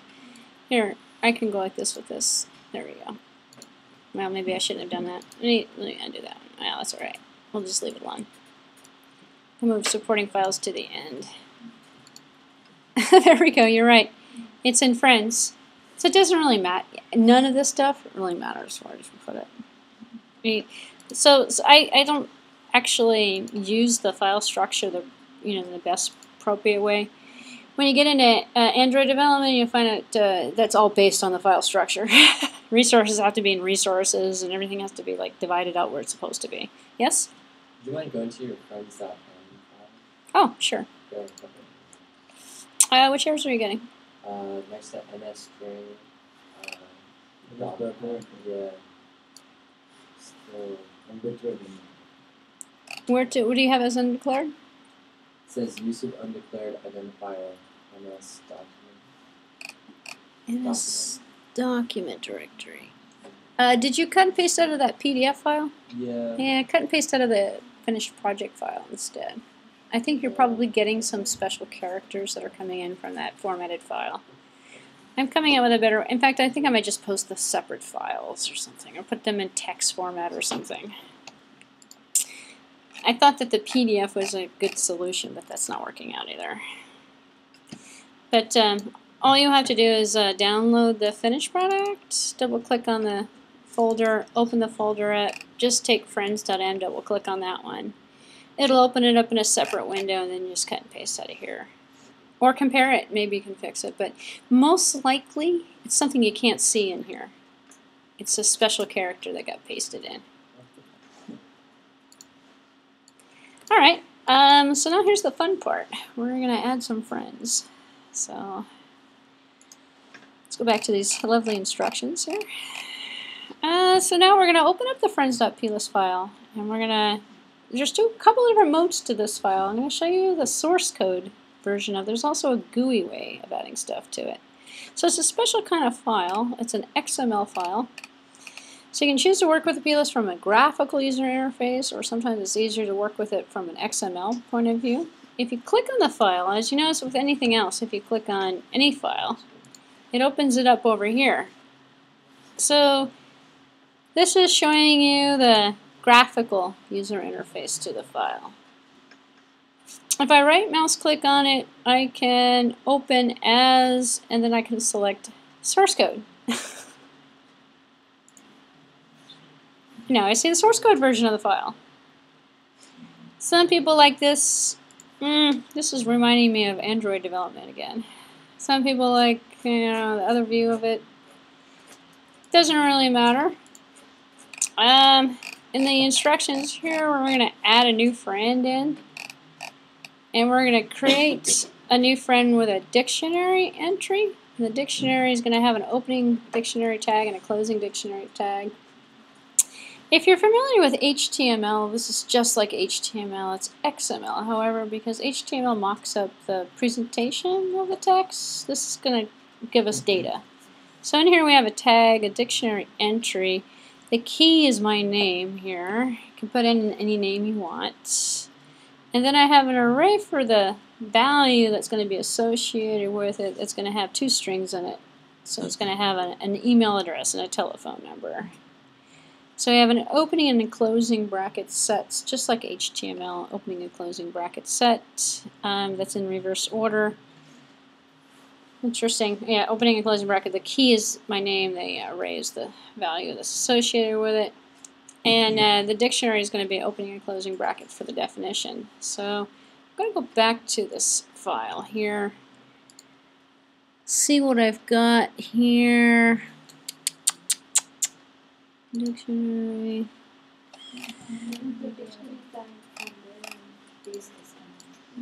Yeah, paste this in here. Oh, remove the remove the dictionary. Yep, you're right. You're right. You're right. It has the. Let's see if it works actually. Remove this tag here. That way, because I have the opening p list, closing p list. So I'm gonna paste it in here. And lo and behold, it pasted. Okay. Spaces, just like HTML, doesn't matter what kind of spaces I have. And I'm just going to leave it alone. So I'm going to go up here and go File, Save, actually, and save it. Um, you have an edit tag. I have a what? Array, array, uh, just after key. Uh, yeah, it is there. It is there. I have a closing one here. It, it um, the opening and the closing um, word wrapped on me. So actually, I could put it. It doesn't really matter, um, but you're right. I can put it like that. It looks a little nicer. Actually, when you actually here, I'm going to take away the spaces here. Now what I've defined is one element that I've stuck in here. And the element is a piece of data that has a key and a value associated with it. So my name's going to show up as the key, and then we have the value. That's going to be the array. Uh, let me save it, and we'll go back to the GUI. If we open it as a property list, we see it here. We have a little button here. You can barely see it. It's a, it's a plus. I just clicked on it. and so I can put in here. I wonder if this is going to blow up if I put another entry in. Probably not. It's, not, it's actually going to only load the first one, I believe. because I don't have it running through any sort of. Well, let's see what happens. I'm going to put in here another another entry. And then I have to change this one to an array though. And then add an item that's going to be what were they string items? No, no, no, no, no, no.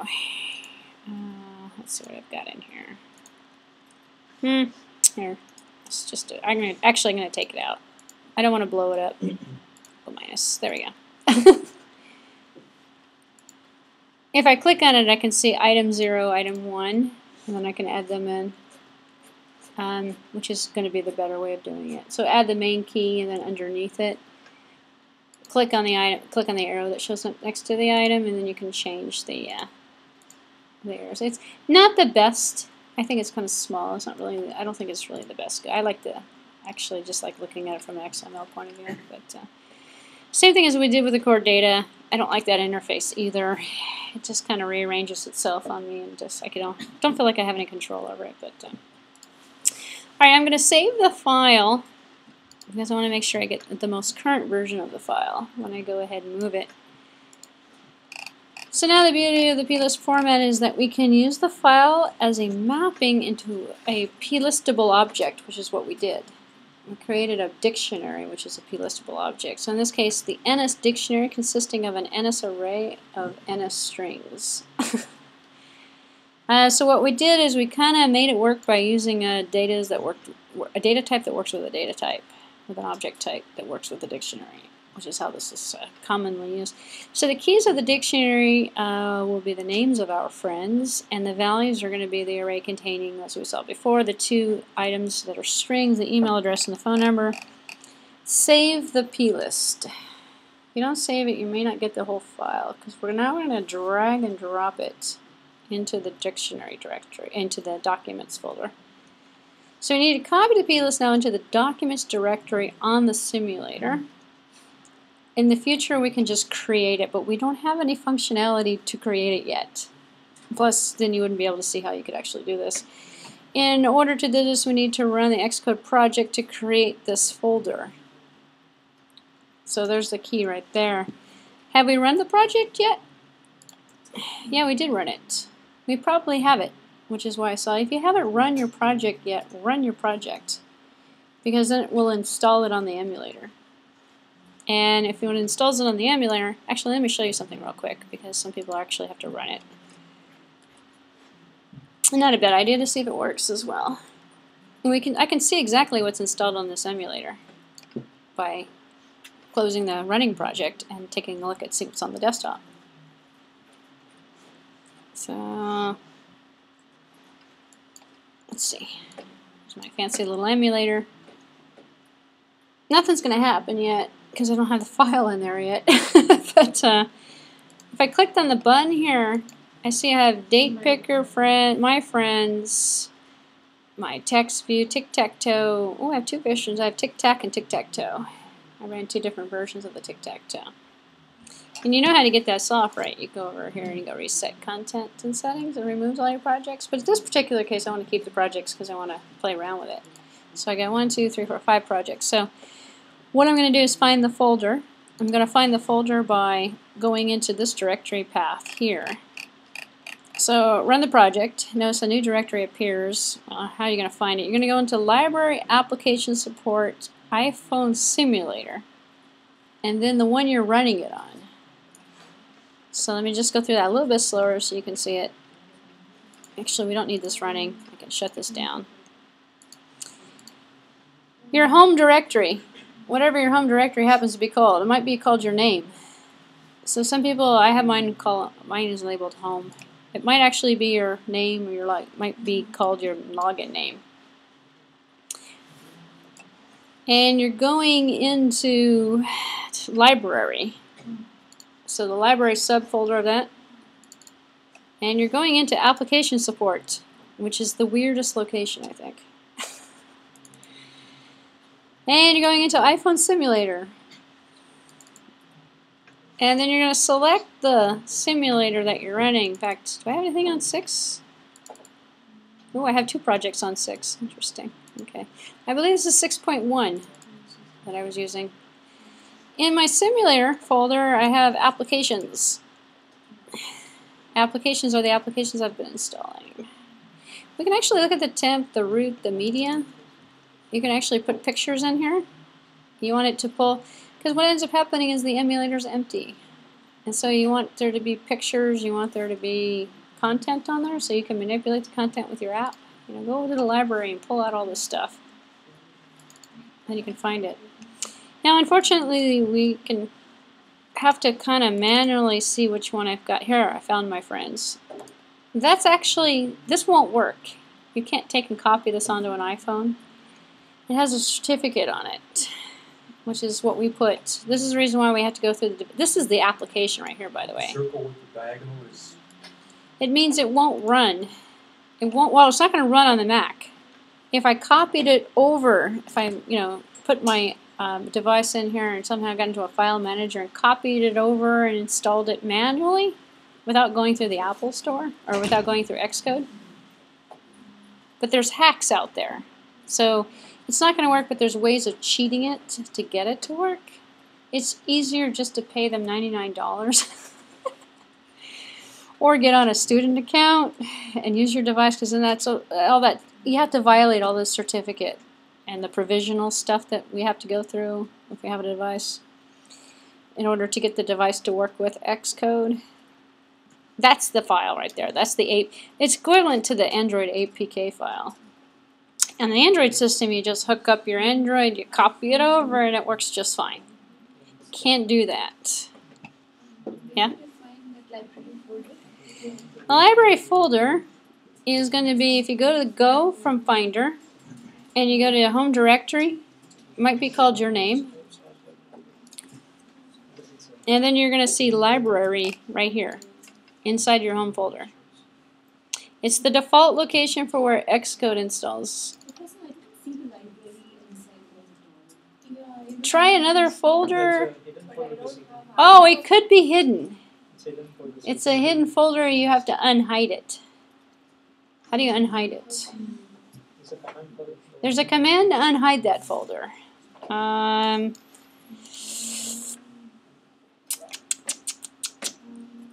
Google it. if your library folder is hidden, you have to figure out how to unhide it. I can't remember right now. If you can't remember, if you can't, if you probably can Google it faster than I can go look it up or experiment with it. That's yeah. So if you get into the iPhone simulator from that, and if you're working on a development system, you should unhide that library folder. I don't think I'd keep it hidden.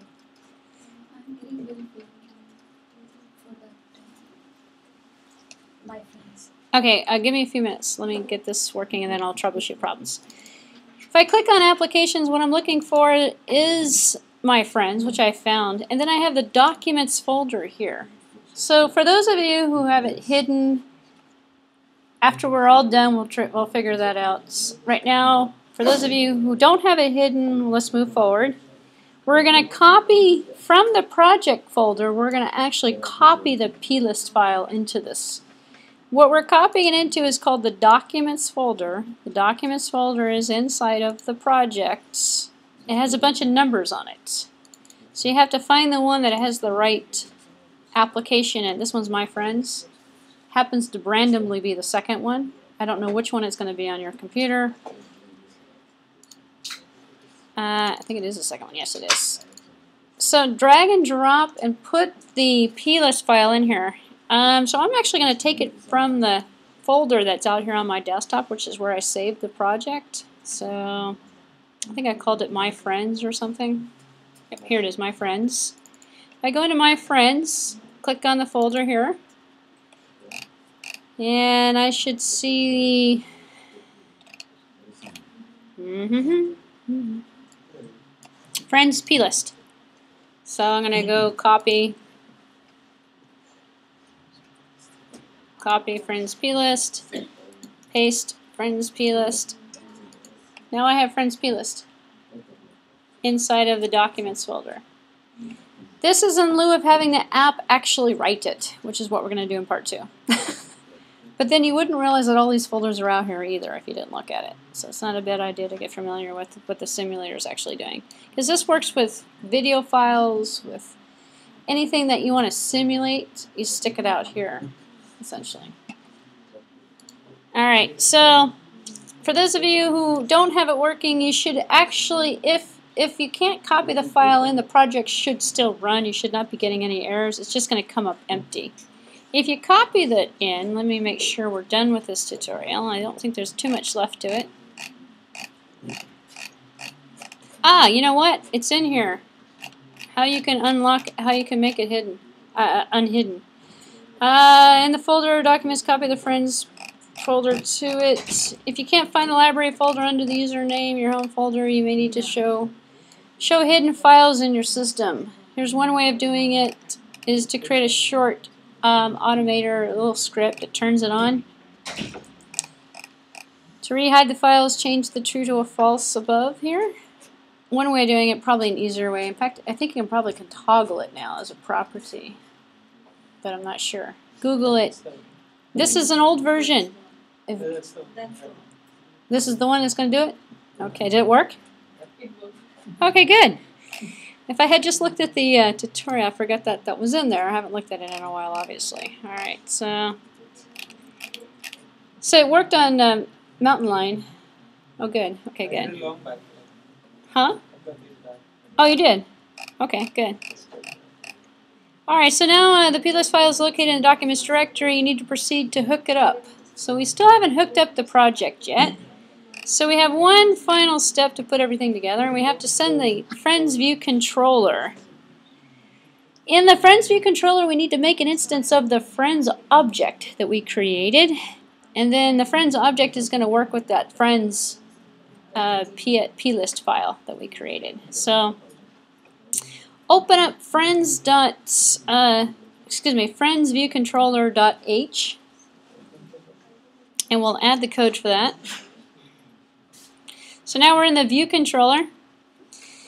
We've set the app delegate to load the view controller. We've created the friends object. So now we have to put the connection between the view controller and the friends object. So I'm going to open up friends view controller. And in here, now do I dare? Let's try it out. I'm going to cut and paste and see what happens. I'm just going to, actually, you know what? Let me just put this code in here. We're just going to add a property, and we're going to add the import of friends. So I'm putting in one line of code, if I find the correct one here. It's going to add a property for a friend. Here's our friends, but I need to put, include the header file up here. So I'm going to import it's just easier to, to type at this point, friends. So, import friends.h because we're making a we're, we're creating a property friends because we're going to make an instance of this object that's going to load up the file and lo load up all of our friends and put it in the table view. So I'm going over to the viewcontroller.m file next. And I'm going to get rid of this interface. I don't like that in there. There we go.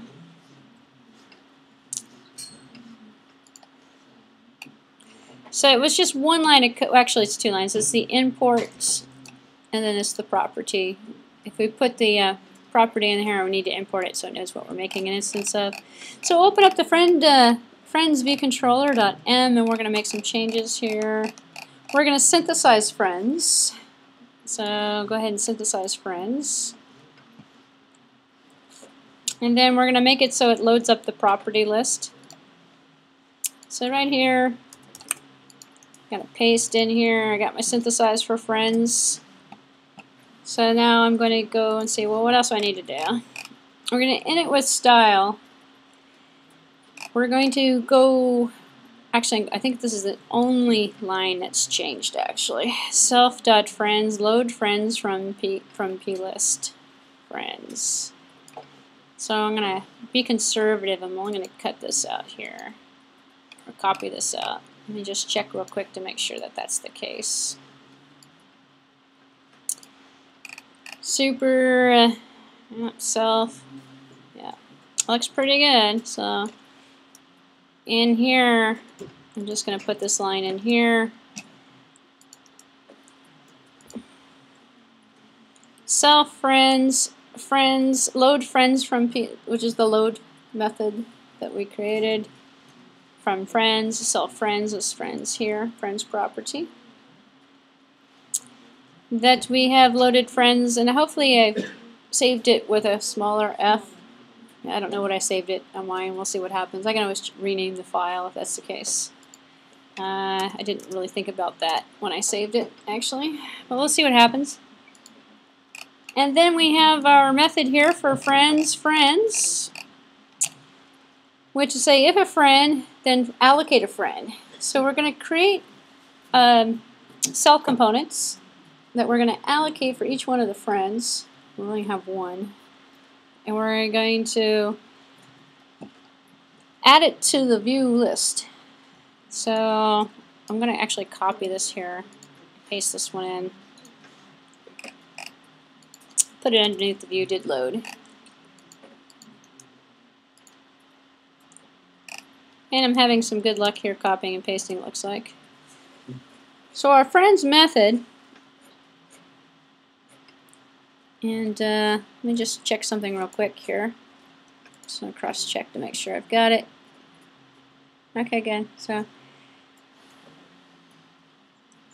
it's friends. Good, good, good. Okay, very good. So we're using the data type friends in the initialization here to say if friends, if we actually created the friend, then friend is equal to friend allocate in it. Which means we're essentially automating the process of creating instances of these objects. Instead of creating all the instances, we're allocating them and making the instances as we populate the table view with these particular cells, which are going to be instances that were being read from this file up here. And this file up here is the friends.plist file that we're going to load. So we're initializing with this file, and the file is going to take and read our friends in. And on the view did load, Nothing. Um, this is going to be for part two. Um, eh, could leave it out right now. Doesn't really matter. The rest of it, number of selections in the table view, we need to add that. So let me go through this and then I'll cut and paste it at the end. We've got a little bit of code in the view did load that will be repeated in the next tutorial that it's only needed for uh, what happens when we uh, well, we're going to add the save button, which we're not going to, and the edit button. So we're going to add a save button, which we're not going to implement in this one. And we're going to add an, I'll, I'll just save that for next time, and then an edit button so we can edit the list of friends. And then we'll, in part three, we'll actually make it so that the view did load actually load, looks for the plist file and then creates the plist file, so we don't have to go through that ordeal. Um, there's a couple of, because we are using the protocol for the UI table view, there's a couple of things we need to set automatically. One of them is the number of sections in the table view. So we have one. So we have an index and we have groupings in the table view. So we can add multiple things to each one of the sections. Right now we're just going to have one. So we have number of selections in the table view is going to be equal to 1. So we return 1, number of sections. And return the number of rows in each one of the sections. Well, it's going to return the number of rows that are going to be created, which is going to be all keys that are coming out of the count from the friend dictionary, which is just going to be one as well. So friends dictionary, friends.friends dictionary, all keys count. Well, we only have one. We only put one friend in there. Um, so now in our UI table view, we have the cell for row at indexes, which is when we click on each one of the rows that are in the table view, it's automatically indexed very similar to an array. So the first one is 0, the next one is 1, 2, 3. And so the NS index path is going to be, we're basically for our table view keeping track of the indexes. And we have a cell identifier that we're going to call cell, which is just going to be a string that we're going to put together to represent each one of the cells. So got table view cell, it's going to be a dequeue reusable cell identifier, yeah. I'm going to go over this in a lot more detail next time because we're not really going to do anything this with this yet. But eventually what is going to end up happening is when the user clicks, we'll put a click event, or a click event, a touch control on it. So when you touch one of the cells, it'll return the cell ID, which is going to be the labeled cell that was clicked on, and then the index value for the location. And then you put together a case switch or an if-else kind of structure that says, if it's zero, then load up number one. If it's one, then load up the second one, which is going to give for each corresponding name, we should see the other two parts of it, the strings for the name of the, for the telephone number and the email address. Uh, so let's see. So after synthesizing the friend's object, we load the plist from within the table view controllers, and this is from the init with style method. And the friend's object is the lazy initialization. As I was trying to mention before, instead of making instances of all of these, we're doing it kind of in a lazy fashion because we're making it when we need it. So it's allocating a friend, initializing a friend when it reads from the dictionary. So it's considered a lazy kind of approach.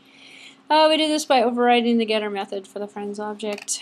So because we're overriding it so that we're getting it by creating a new one. So in the data source uh, delegate method, uh, we're going to make the information from the friends objects dictionary. Number of sections in the table is going to be 1 as we set. Number of rows is going to be 1, or it's actually going to be equal to the number of keys that are found in the dictionary, which is going to be 1 because we only put one item in there. And in this implementation, we can use the keys to uh, populate the cell's title label if we want to, which is what we didn't do, what we could do. Since there's only one key currently in the dictionary, we only have one cell to be populated.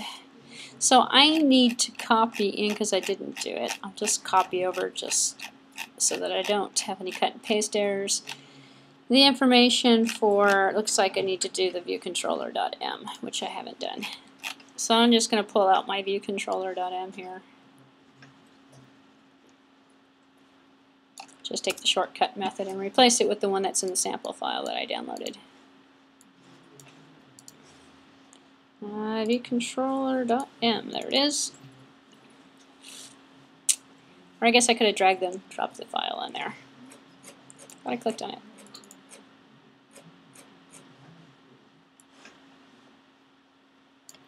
Oh, because I'm in my friends. It is empty. Hold on one second.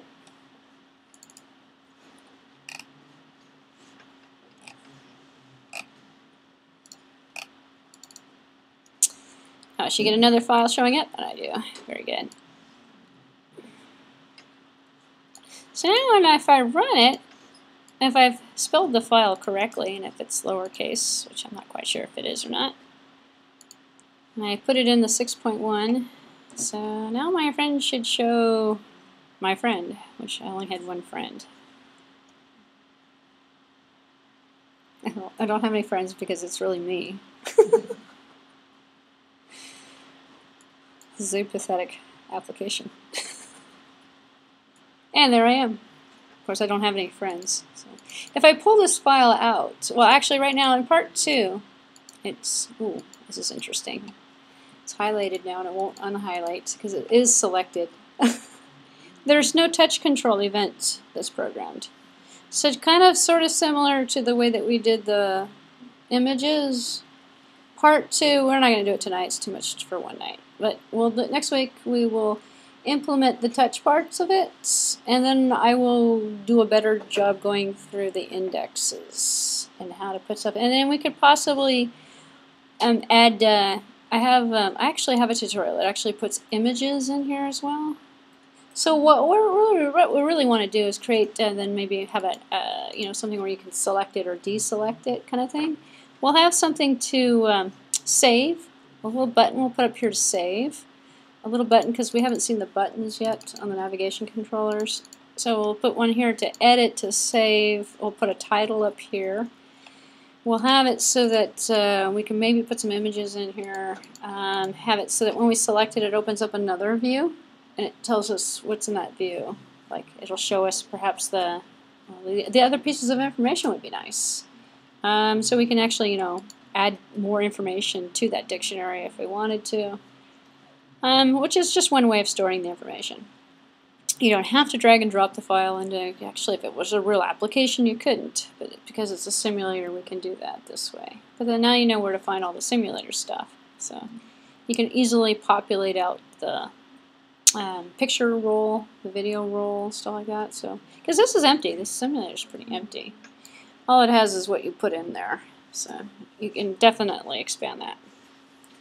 Alright, questions on the first part of the Friends View controller. Don't worry if you don't have it working, because you can always take the solution that should be working and use that as a basis to start with part two next week. So now there's no excuses on the first two assignments actually for those people who are doing them because we did the tic-tac-toe tonight and the first one was the calculator that we did a couple nights ago, so a couple weeks ago. So moving right along, I just want to take a few minutes here to kind of look at the schedule. I believe that the um, those two assignments are due the March 28th, March 31st. Okay, March 31st. I think they're at the end of next month. So the next two assignments, actually, let me just take a few minutes here. If you are uh, if you're an ITU student and you're doing the assignments, this is information is for you. Everybody else can tune me out. There's not too many others in here. Uh, say, oops, wrong, wrong section. Uh, assignments. The first two we've uh, covered the tic-tac-toe and the. So the next two here are the ones you should actually be working on at this point. Let's see what they are here. Three and four. Number three. Oh, don't want text view. The clock. Uh, so we've done. We've actually done. These are actually pretty easy. The clock we did. Uh, for those of you who missed it, you can look it up. Actually, we did it in the I. We did it in the Objective C course. We didn't do it in this one. That's why. If you're in both classes, we did it in the earlier one. Oh. Yeah. Um, there's videos on it though. You can watch the video. Uh, but this one is uh, creating a functional clock. Let me make this a little bit bigger.